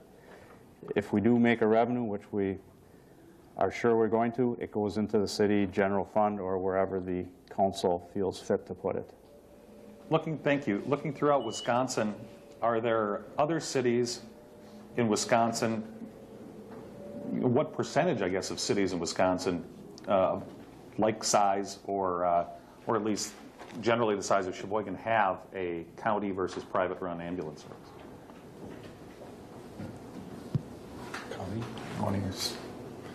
Are we the oddball because we don't have it, or are we the oddball because we might? Of the city-run ambulance service, we're the oddball because we don't. The only other two that do not are Appleton and La Crosse, and La Crosse is um, currently in the same part of the process that we are, of looking at switching it over. Uh, A speaker, and I'm sorry, I forget her name, from uh, Orange Cross in the opening announcements, kind of mentioned um, uh, the landmark fire. Maybe we can use that as an example where instead of having Orange Cross coming in the fire department, now we have the fire department slash ambulance service coming in mass with really only four additional guys. Using that as kind of a worst case scenario when it comes to people, because there was you know hundreds of people that had to be moved around. Um, maybe you could address how a change like this would or wouldn't affect your response to that type of emergency. Uh, Emergency response staffing is, is really based on risk management. There is no city anywhere that could afford to staff a fire department to fight the landmark fire every day of the year. That just doesn't happen that often. Um, If we take on this service, our response will be changed, will be altered to provide for dedicated response to med calls and dedicated response to fire calls. We are going to have to supplement our fire service, our fire calls with a more aggressive callback and overtime procedure to make sure that we have enough people for that. Okay. The, uh, and I'm sorry to keep rambling on, but uh, I guess that's what this is for. Um, There's been some talk, and I've been, received some communication regarding county service, and uh, if, for instance, the county came to the city of Sheboygan and said, hey, why don't we, uh, why don't we contract with the city, for instance, for ambulance service? Does that possibility exist? I believe that's part of the resolution. We did leave the door open to that. We are willing to expand into that area. Um, Obviously, the system would have to be expanded with it.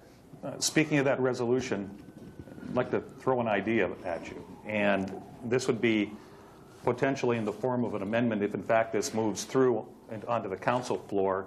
And that would be an amendment um, stating that beginning January 1, 2008, and ending December 1 or 31, 2012, a hiring freeze is to be in place for the Sheboygan Fire Department. This freeze can only be altered if the geographic service area of the fire department and ambulance service were to be expanded, hence county service. Uh, Your reaction to such an amendment? If you're referring to a hiring freeze, meaning that uh, our staffing levels will be frozen at what they are At plan. at, at, at this plan on January 1st, I think that would be totally appropriate. I think we're comfortable looking at the, the system as it exists now, or as it exists the way we're proposing it, um, with the staffing levels that we're proposing, that we would be able to provide that service during that time frame at those service levels. Just a couple final questions having to do with some of the uh, great comments we had by, at the citizen input side. Um, The, uh, the frantic action that was noted, or the uh, haste, I appreciate your timeline. I know those things are tedious to go through, and it's hard to follow sometimes, but from what you described to me, not only is this frantic pace, pace been going on for about 15 years, would that be the, the, the Sheboygan version of frantic pace? I would guess. Okay, is that fairly accurate? 15 years worth of? Actually, it's longer than 15. It goes back to, to 1988 and maybe even before that. But, uh, you know, more actively, we've, we've pursued this, and like I had said, prepared ourselves um, for this for a long period of time. Um, One of the, the system benefits to moving forward with our proposal is that, um, you know, one of the positives of the fire-based EMS is that we have a great uh, history of retention of employees. And, and the idea that this system not only is going to incorporate our existing people at the current levels that they are, but that it will grow to be a system where you'll have many more trained paramedics in the system than what we have current. If you look at the, the way Oshkosh um, proceeded with their development over many, many years, is that, you know, they started with a paramedic ambulance service and evolved over time with attrition of employees to, to provide a first response paramedic service that the first unit on scene is able to, to start paramedic treatments and the transport becomes almost secondary in that um, those, those abilities and capabilities are there on first response. And that's how we look at the system expanding over, over the years. Um, initially, we're going to be able to upgrade our first response level, like we had said earlier, to, to at least an EMT level from, from all of our first response vehicles, in addition to the ALS ambulance. But eventually, that whole system will slide and move toward the paramedic level, and I think it'll be a great benefit to the community and, and the area, actually, to have that resource available that is not available now. Final point, um, well, at least for the moment. Um, I'm sorry to hear that your timeline, which I believe uh, you noted over the last about 13 months, with dealing with a lot of other entities to kind of bring this forward, uh, I'm very sorry to hear that for whatever reason uh, somebody backed out or decided it was not in their interest or for whatever reason. Um, I, I don't know why, and I guess it really doesn't matter why. It happened, and we're here. Um, I also don't appreciate, and sometimes you get information where people are making some assumptions. One assumption is and has been uh, touted and sent in writing, I think, to every single alderman, and that is that Manitowoc really, you guys are wrong. Manitowoc really doesn't make any money. And, uh, and I'd like you to address that. That's been stated uh, several times to me. Uh, as recently as last Friday afternoon, we had a phone conversation with the Manitowoc finance director, and it was asked point blankly to him, strictly from a financial standpoint, are you still happy that the Manitowoc Fire Department took up this service? And his answer was absolutely. It's bringing in positive revenue. And you do note that, I don't know if that's been released to the, the public, but a nice letter here from Manitowoc and their finance director and so forth. Um, uh, that's all the questions I have. Just a quick comment, and that is, uh, regardless of the, end, the result of this, um, having a department come forward like this to propose to be more efficient, to propose to be revenue enhancing, and to go through the work that you guys did is something, this isn't necessarily a challenge to every department head, but something I would love to see more often. Um, so your other department heads are going to be ticked at you because you, you now put them in the spotlight. But uh, I, I appreciate, regardless of what happens, the, the quality of, of work because I have run your numbers 15 different ways. And I'm confident your numbers are accurate, if not understated. Um, so from a number, strictly numbers standpoint, uh, they are very good. You have some advantages over Orange Cross as described by, by yourself as well, and that's, it's unfair, but it's true. We already own the bodies. We already own the buildings. We already own the mechanics. We already own this. And that does, in this particular instance, put a uh, public sector company at a disadvantage. So regardless of that, I want to thank you for the work you've put into this and the dedication. Thank you very much. And I think if I can add to the uh, perceived haste to this, uh, that was never our intent. Um, the reason that we have a timeline is it takes approximately six months to build an ambulance. We're getting up to that six months before the end of the year, and we need to get those vehicles in place here so our paramedics have time to train on them before we actually put them on the street. So that's why our timeline is what it is. Thank you. Next is Alderman Manny. Uh, thank you, Madam Chair. Two things.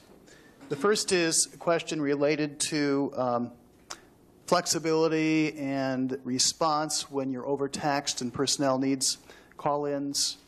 Um, How much emergency latitude do you have with numbers? Um, What size emergency perhaps could you respond to if necessary with callbacks? Maybe something concrete like that would help us uh, hold on to that and understand it. Uh, Every day, half of our off-duty firefighters are on call, so those are available to us immediately, and we also have mutual aid packs with all the surrounding community fire departments. Second question. It's a broader question related to the county, an ongoing service that Orange Cross would be immediately providing for county 911 calls. Um, The question would be, and maybe you can answer this directly, but we are a part of the county, and their costs are also our costs. And the quality of service that Orange Cross provides is also our concern. So, in that broader context, what quality of service will they be able to maintain for county residents uh, with cost constraints, with reduced call volumes, and thus reduced revenues? They'd be going through downsizing. Perhaps it's very difficult to project, but I think at least we need to note that reality and consider its impact. Finally speaking, we are taxpayers for the county service as well, whether that be just or not. Uh, I think that's a question you probably need to ask them, but again, um, our proposal calls for an alternative of we're here if you need us for the county.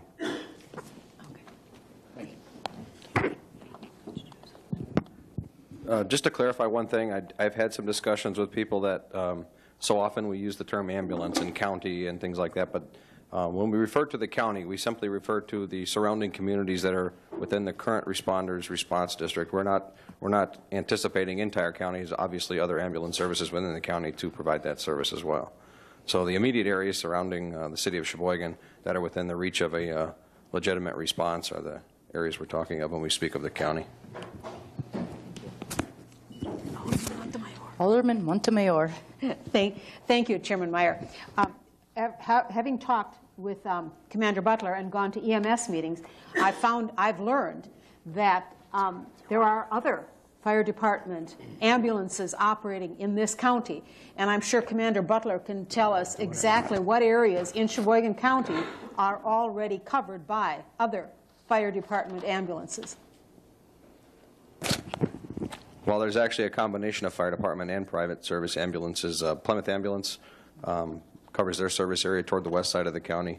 Northwest part of the county actually has a, a portion that is uh, covered by Kiel Ambulance. Um, currently under some discussion at the EMS Council level regarding Plymouth Ambulance's response to that area as well, um, because their service has been upgraded.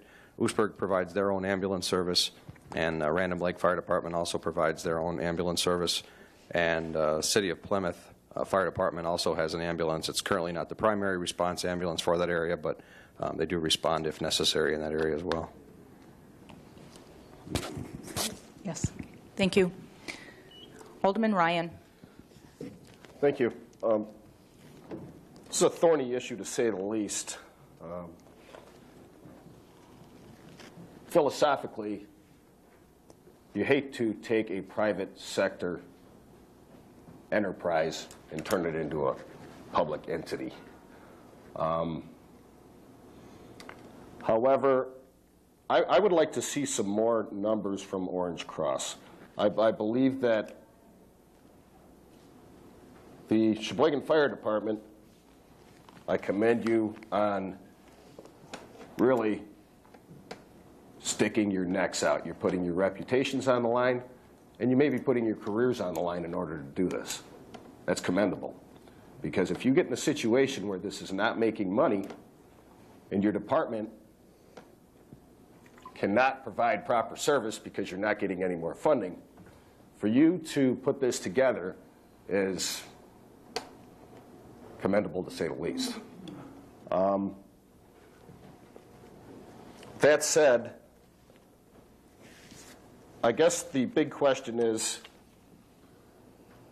are you going to provide the same level of service as Orange Cross or a better level of service in the future?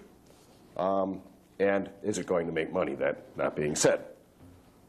When the landmark fire, uh, which was a couple months ago, what percentage of your reserves were called in from the fire department? People on call that were not currently on duty? Was it Half of our on-call crew came in, which that consists of actually 25% of our off-duty people. So only 25% of your off-duty people, so you still had people in reserve? We still had three-quarters of our off-duty people were still not called in. Okay.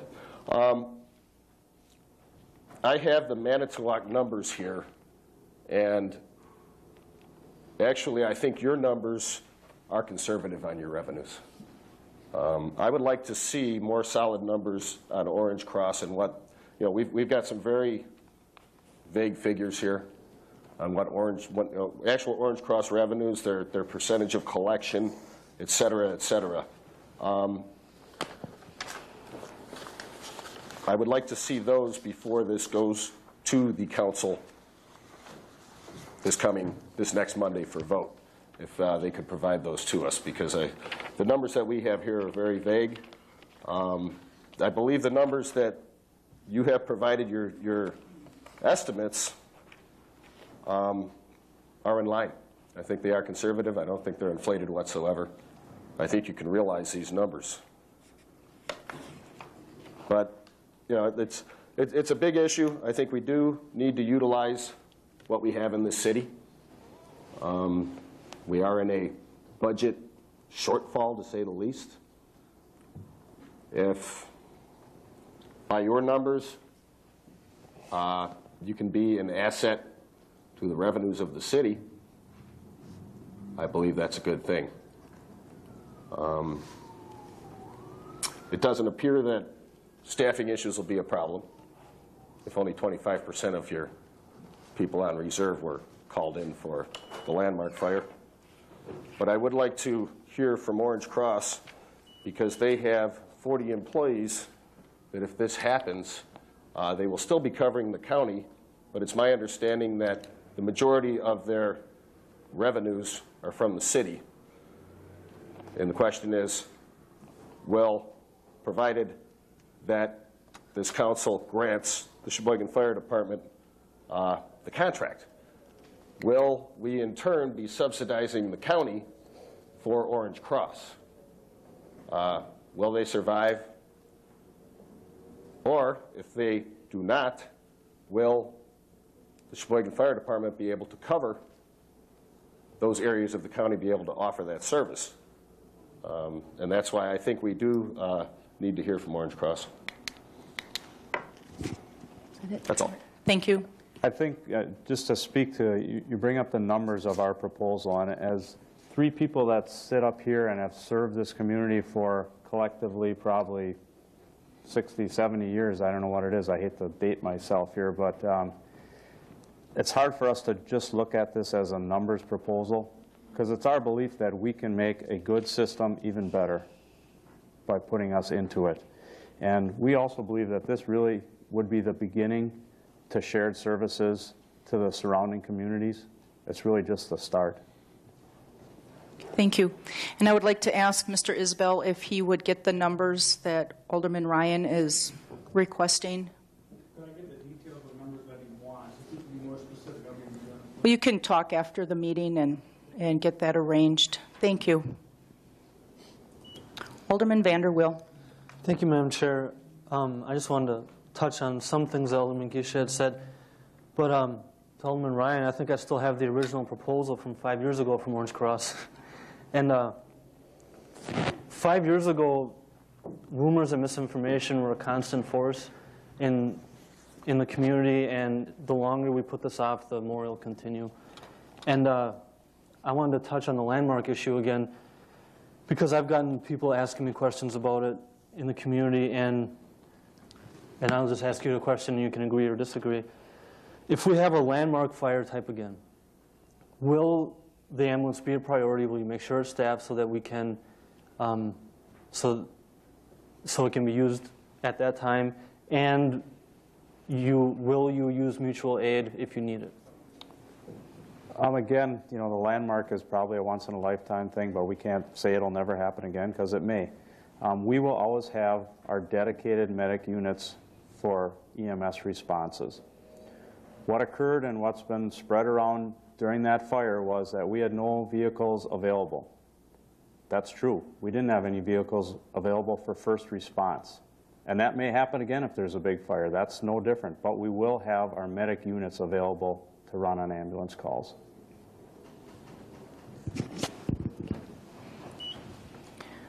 Alderman Wangaman? Thank you, Madam Chairman. Uh, We've been tossing a lot of numbers around tonight. Uh, It's Alderman Bulk said before, in business, of course, numbers are what makes things go, you know. And I'm a little bit concerned that there's such a wide difference between the numbers from the fire department and the numbers from Orange Cross. Uh, As far as revenue goes, it, it looks like it's quite a bit of difference. And uh, I guess I would like to see an answer to that. I've been inundated with uh, sheets of numbers, and I've got a whole bunch of stuff here from Orange Cross and so forth. And uh, when it comes to looking all these things, I got to admit, I'm not the brightest candle on the cake, but uh, I would like to see some clarification as to why there's such a, a wide difference. Well, first of all, one number we're going to have to look at is our, our paper budget for this year because we've, we've killed a lot of trees going through this process. Um, uh, Commander Herman, would you like to, to comment on? Um, I, I- think our revenue projections are actually lower than Orange Cross's because we were so conservative. Um, And I do have their numbers, which I've looked at, and I'm very confident that um, when we've run them, ours are very close to what theirs are when we get down to the final figure.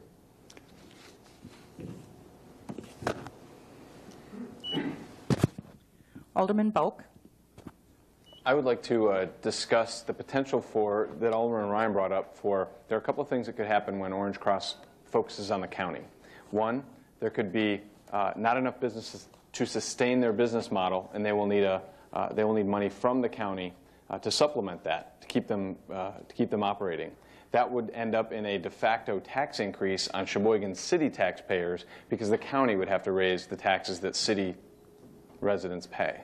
So, are you prepared? I know you have uh, something modeled out. Are you prepared to be able to offer county residents a competing business model that makes it so the city of Sheboygan taxpayers will not have to supplement the county?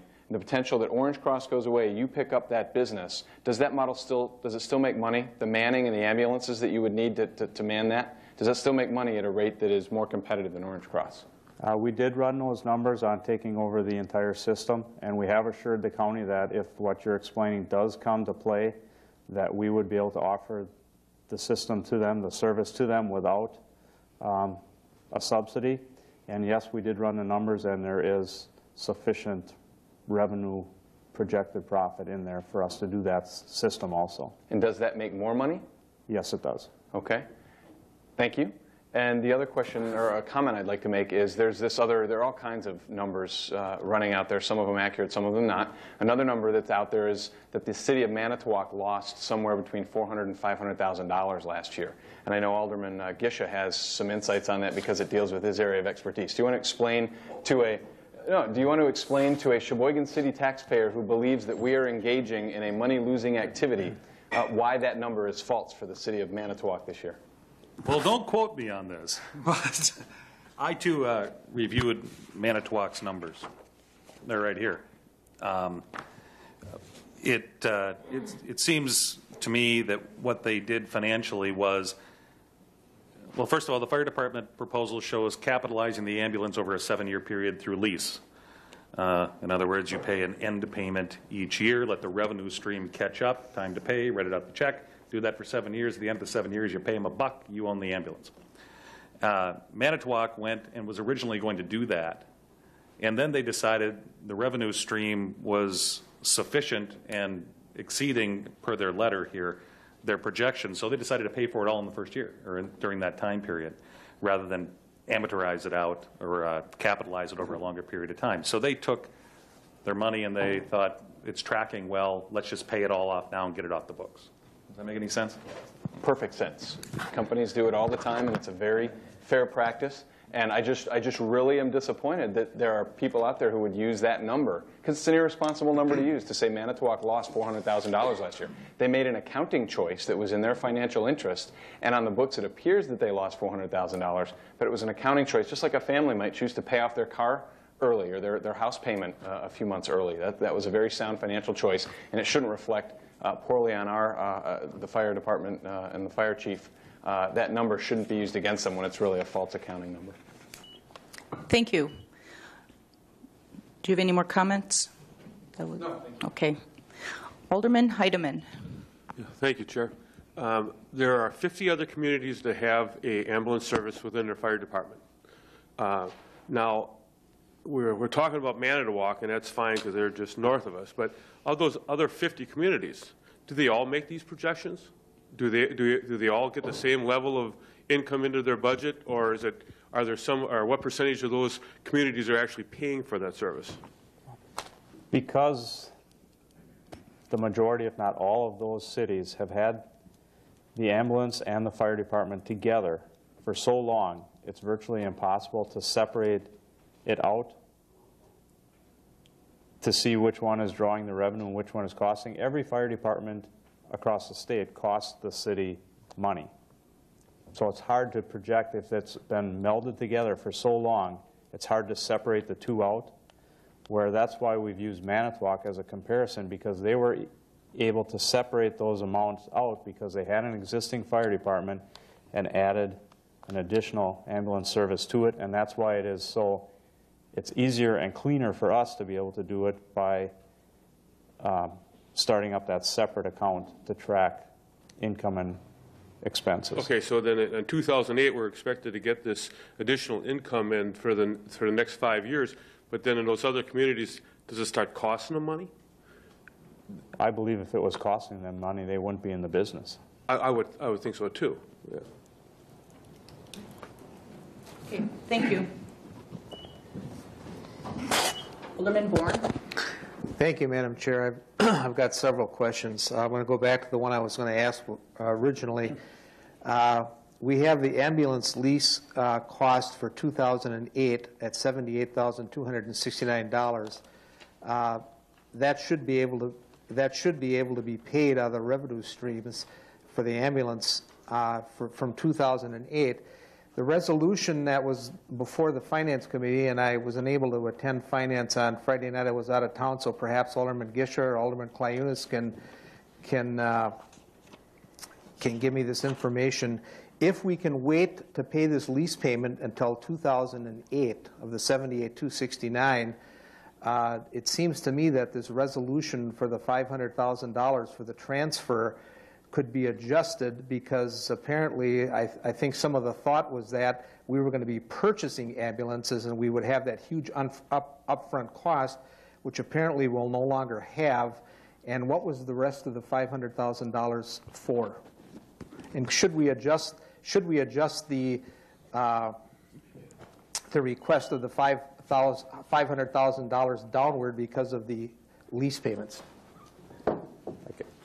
I can take that. Um, we did have a meeting with the city finance director, Mr. Gebhardt, and he wanted the opportunity to, to explore whether it was better off in the city's side to purchase versus lease. So he wanted to leave his options open, and that's why that amount was put at that. And the additional amount over, actually, I think the purchase price of three ambulances is about $420,000.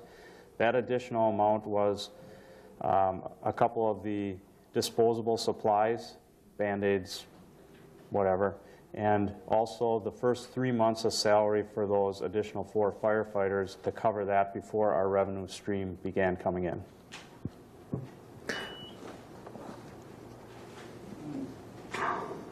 Alderman Gisha, you have further information? But, no, Jim, to clear up your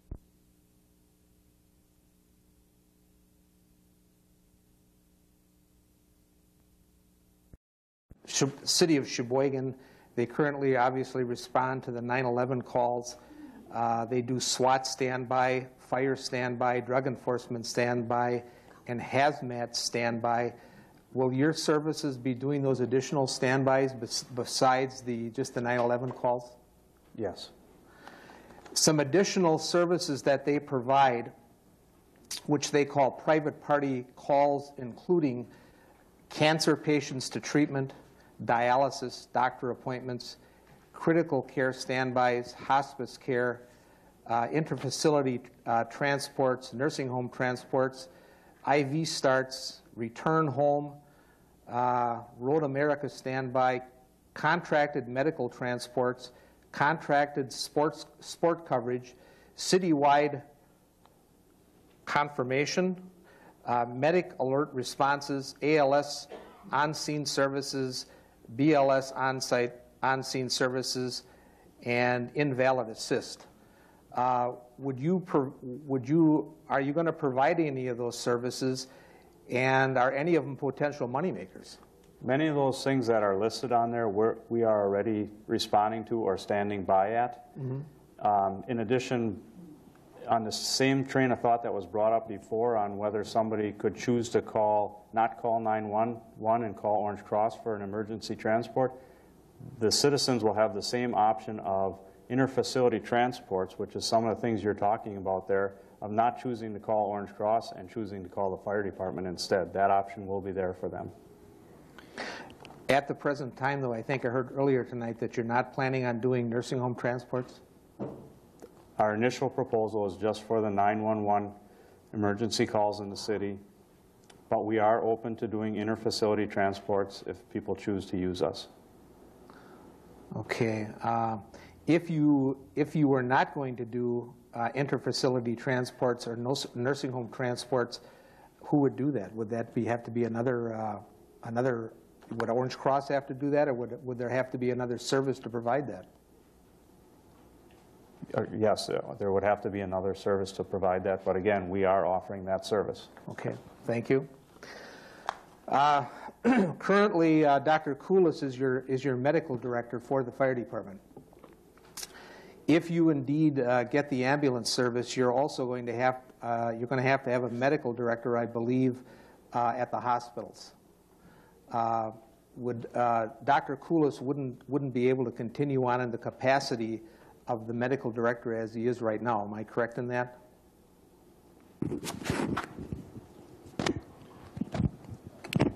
I believe Dr. Koulis would continue as our medical director. Obviously, we would have some sort of relationship with the uh, receiving facilities, um, and we continue to look for that cooperation between us and the medical facilities. Um, If we file an operational plan with the state of Wisconsin, which we propose to do, um, we do also have to have buy-in from both of those receiving facilities to at least provide medical control online. If our paramedics would happen to call those hospitals, I see no reason why those hospitals would not participate in that when they read our operational plan.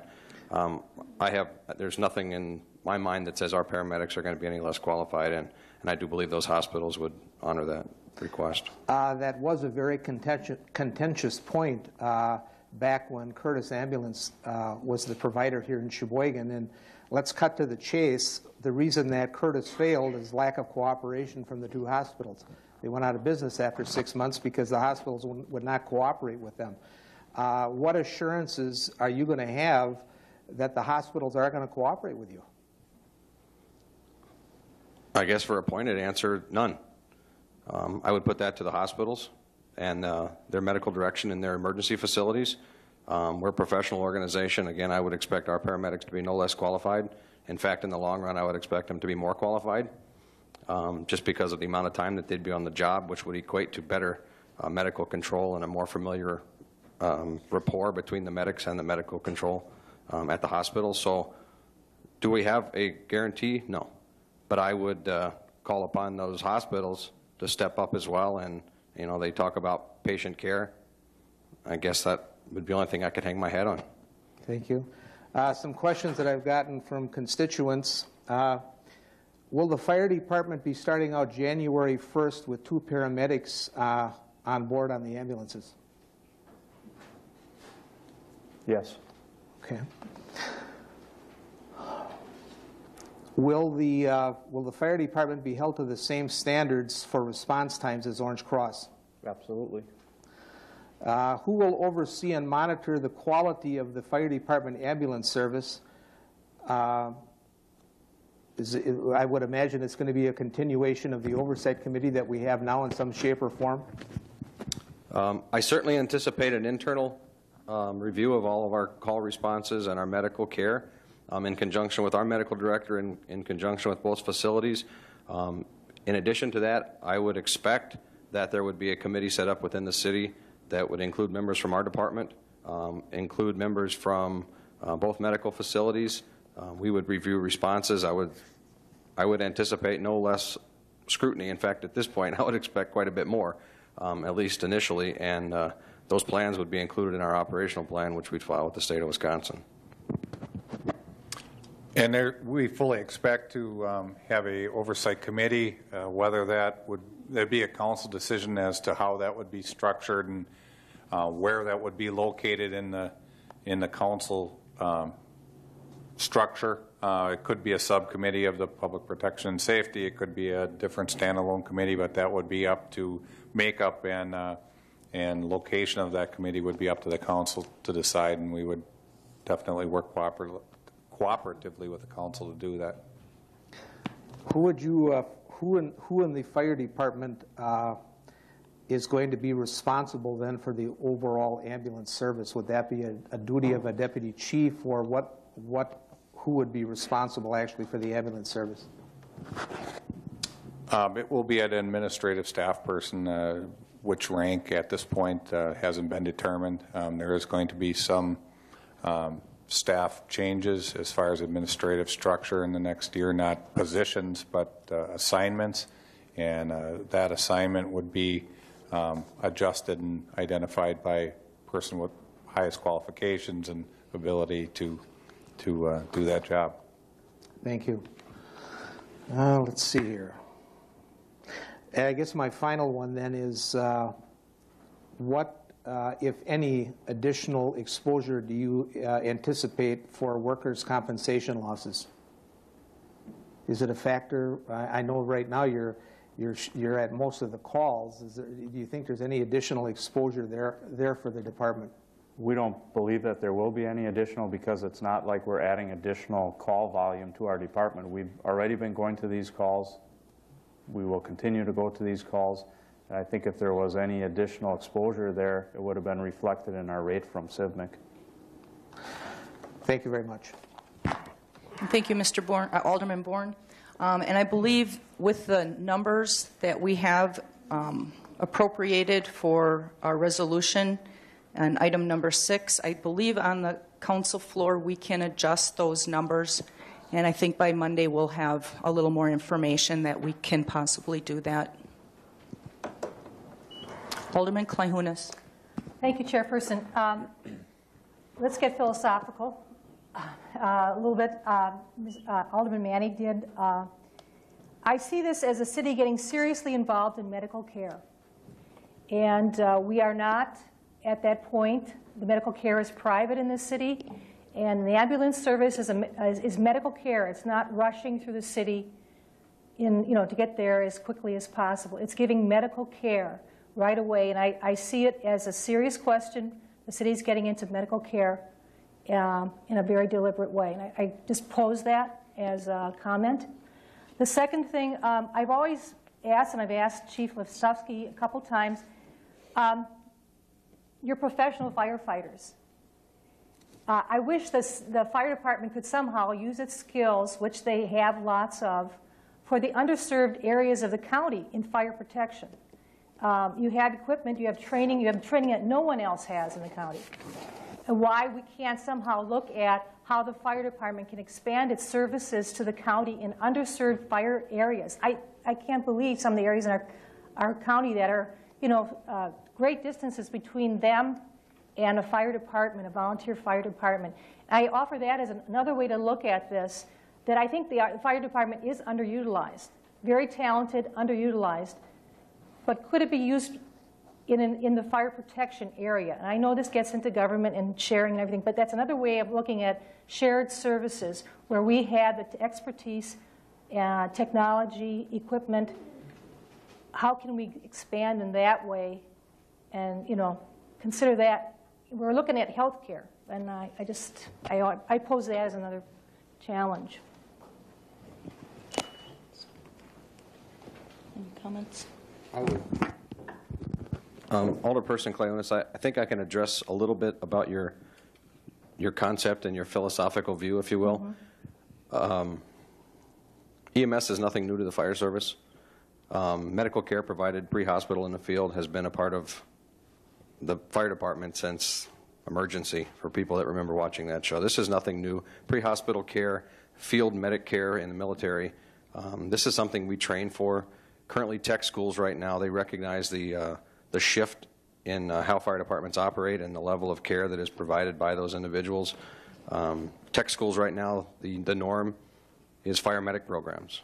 That's what they're developing, that's what they're doing because they recognize the need to put that medical care immediately at the patient's side. Um, we are medical professionals as well. It is what we do. Um, I've been in this field a very long time.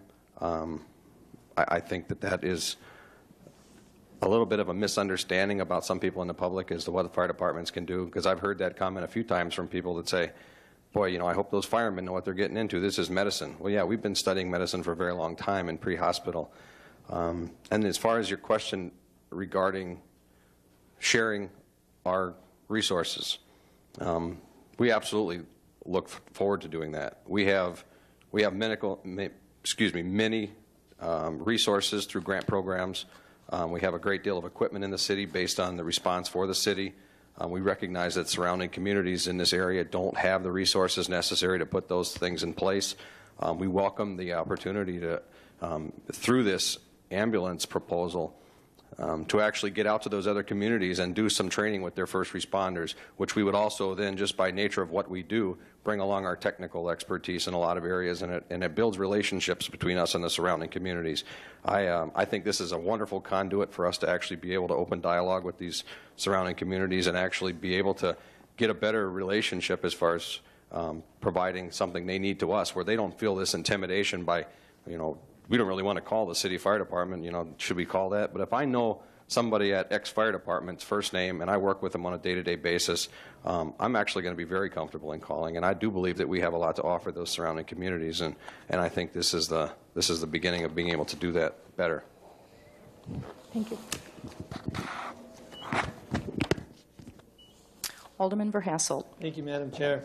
Um, a comment and then a question. I mean, from a comment standpoint, I just want to point out, from my standpoint, my need for more information, whether it be from Orange Cross or anyone outside the fire department, I hope is not construed as a judgment on the fire department or any three of you, because I think the three of you are quality people. I think you've put these, in, these numbers down in good faith, and I think you've tried everything you can um, to give us a reasonably clear picture. So I just want to point that out from my standpoint. Uh, I'm just an information-driven person, so I appreciate your patience. Now, my question is, and Alderman Balk and Alderman Ryan sort of touched on it, but I'm curious as to any three of you can answer this question, how you think this will play out across the county, because what we decide here tonight obviously is going to have implications elsewhere around the county, whether Orange Cross and the neighboring communities. Some of those implications could come back on the taxpayer, and I think Alderman Manny pointed that out. How do you think, what's your, I know you don't have a crystal ball, but how do you think this will play out based on what you know other communities have done and what your peers and your, you know, your, your accomplices around the county, how do you think this will play out? Well, we don't believe that there will be a tax implication to the county and to us because we have offered that other possibility of expanding. Um, we believe and we hope, I guess, that and what we've seen in other communities is once it started up in the city, it has expanded out into the outlying areas. It just took place in Oshkosh a number of years ago and it was very, very successful. We, as we started this process, we wanted this to be a cooperative effort to make a better system for the users, for the taxpayers. That's what we ultimately hope continues to happen with this process. Thank you. Is that it? Thank you. I think we still have a motion on the floor. We can go back to that for opening up the floor to Orange Cross. Alderman Verhasselt, did you still care to pursue that motion? Yes, I would. Okay. And we had a second? Mm-hmm, okay. So, under discussion to open the floor to Orange Cross. Would you like a roll call? I might as well. Alderman Bourne. Aye. Alderman Bauk. Alderman Serda. Alderman Gisha. Alderman Heidemann. Alderman Kittleson. Alderman Clyunas. Alderman Manny. Aye. Alderman Meyer. Aye. Alderman Montemayor. Aye. Alderman Ryan. Aye. Alderman Vanderweel. No. Alderman Verhasselt. Aye. Alderman Wangerman. Aye. Mr. Isbell, would you, why don't you come up front here, please? Um, And the motion carried. We will open the floor to, I may need more to water. Mr. Isbell.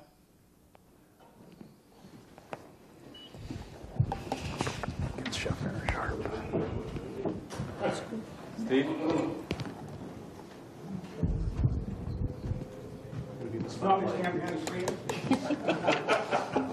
Jerry Isbell, Executive Director with Orange Cross. Just a couple of quick uh, clarifications, Chuck, if you you want to turn that off so it's not in his eyes? What? We can turn. Turn that off so it's not in your eyes. I got it. He's got it here. Mr. Jim- Herman.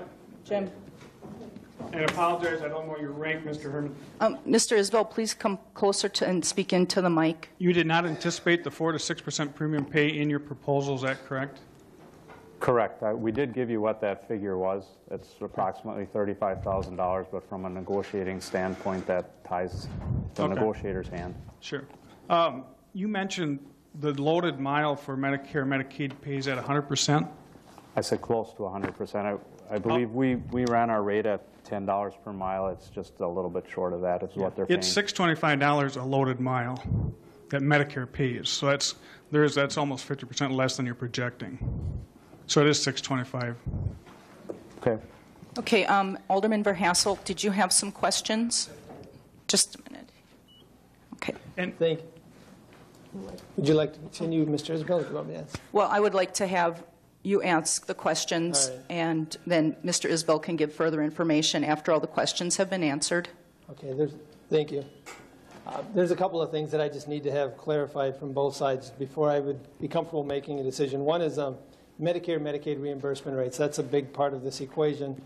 And the discuss, I've heard from both sides saying, one says the trends are going downward, reimbursement rates are falling, others are saying it's going up.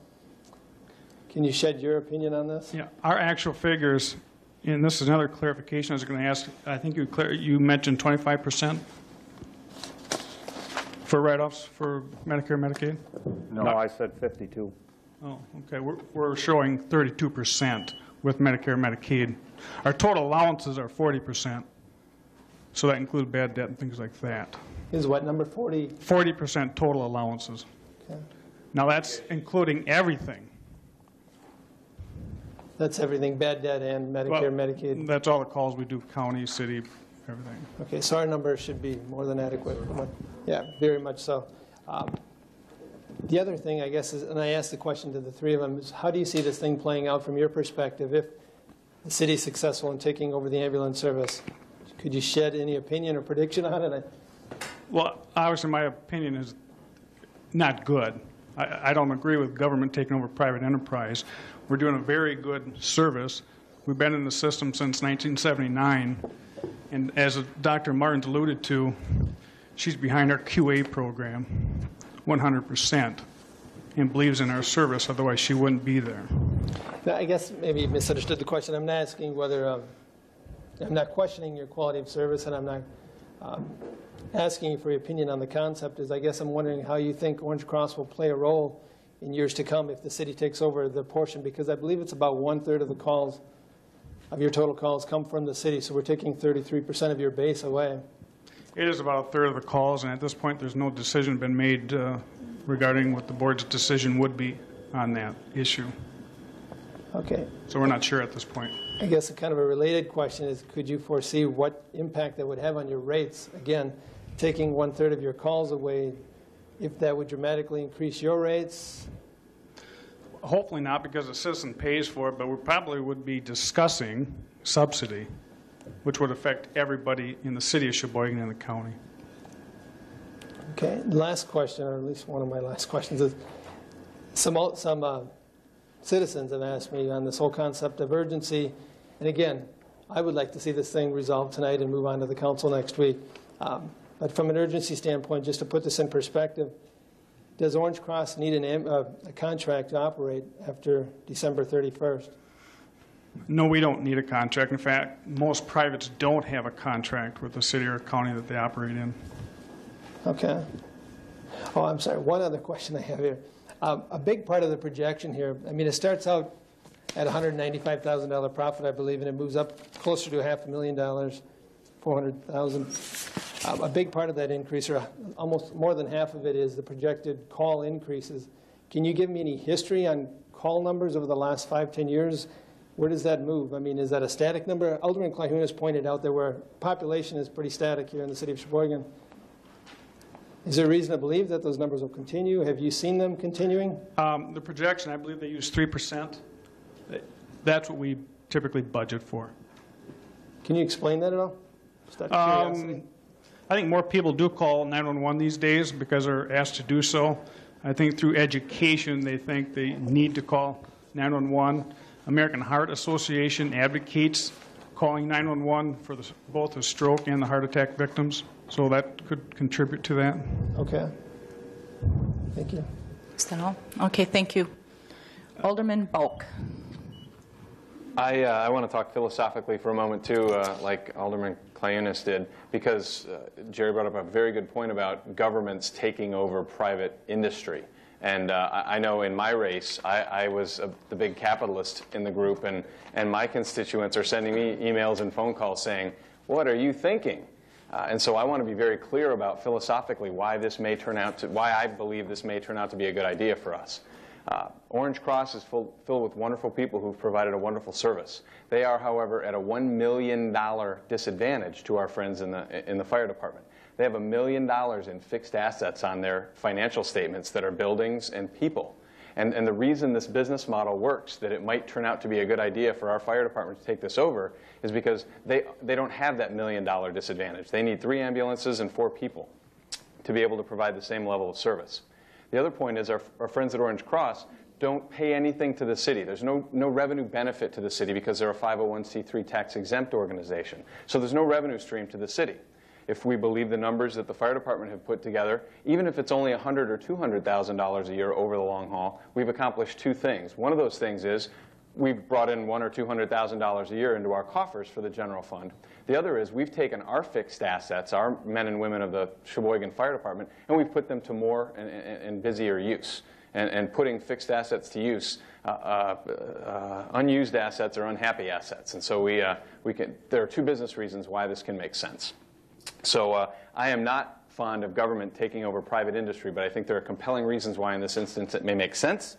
And the second point is uh, I want to offer Mr. Isbell the opportunity. He mentioned that the, uh, the $10 per loaded mile might be a little too high, and so if we take 60% of his 58,000 number, that costs us, call it $20,000 of the fire, fire department's numbers. Are there any other fundamental material numbers you would disagree with in the material you've seen tonight? Um, I haven't had the opportunity to look at the proposal. Would you, would you follow up? That, that, I think, would be the most important thing you could do in the next six days would be to go through these numbers. And if you see anything that is materially, that you have material differences with, bring that to our attention so we can make the best decision next week. Yeah, we enjoy that opportunity. Um, Thank you, couple ma'am. things. What's your viewpoint if citizens do call 911 and ask for Orange Cross? Do you think that's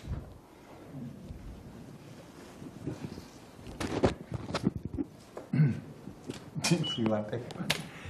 Uh, I don't believe that's how the system works. Um, As far as uh, our perspective, the 911 service is set up to um, provide that emergency response. It's not a call funneling agency to uh, um, shift um, the responsibility to, to somebody else, so I don't believe that would be appropriate. If people call a private party number for Orange Cross, I would assume that um, it's within Orange Cross's right and obligation to respond to that, but 911 calls that come into the city, I believe, would be directed to the 911 provider, which would be the Sheboygan Fire Department. And I would like to get through the questions from the alderman first, please, because we have four more, four more people waiting. Alderman Vanderweel. Thank you, Madam Chair. Um, I agree with Alderman Bulk. He's a very smart man.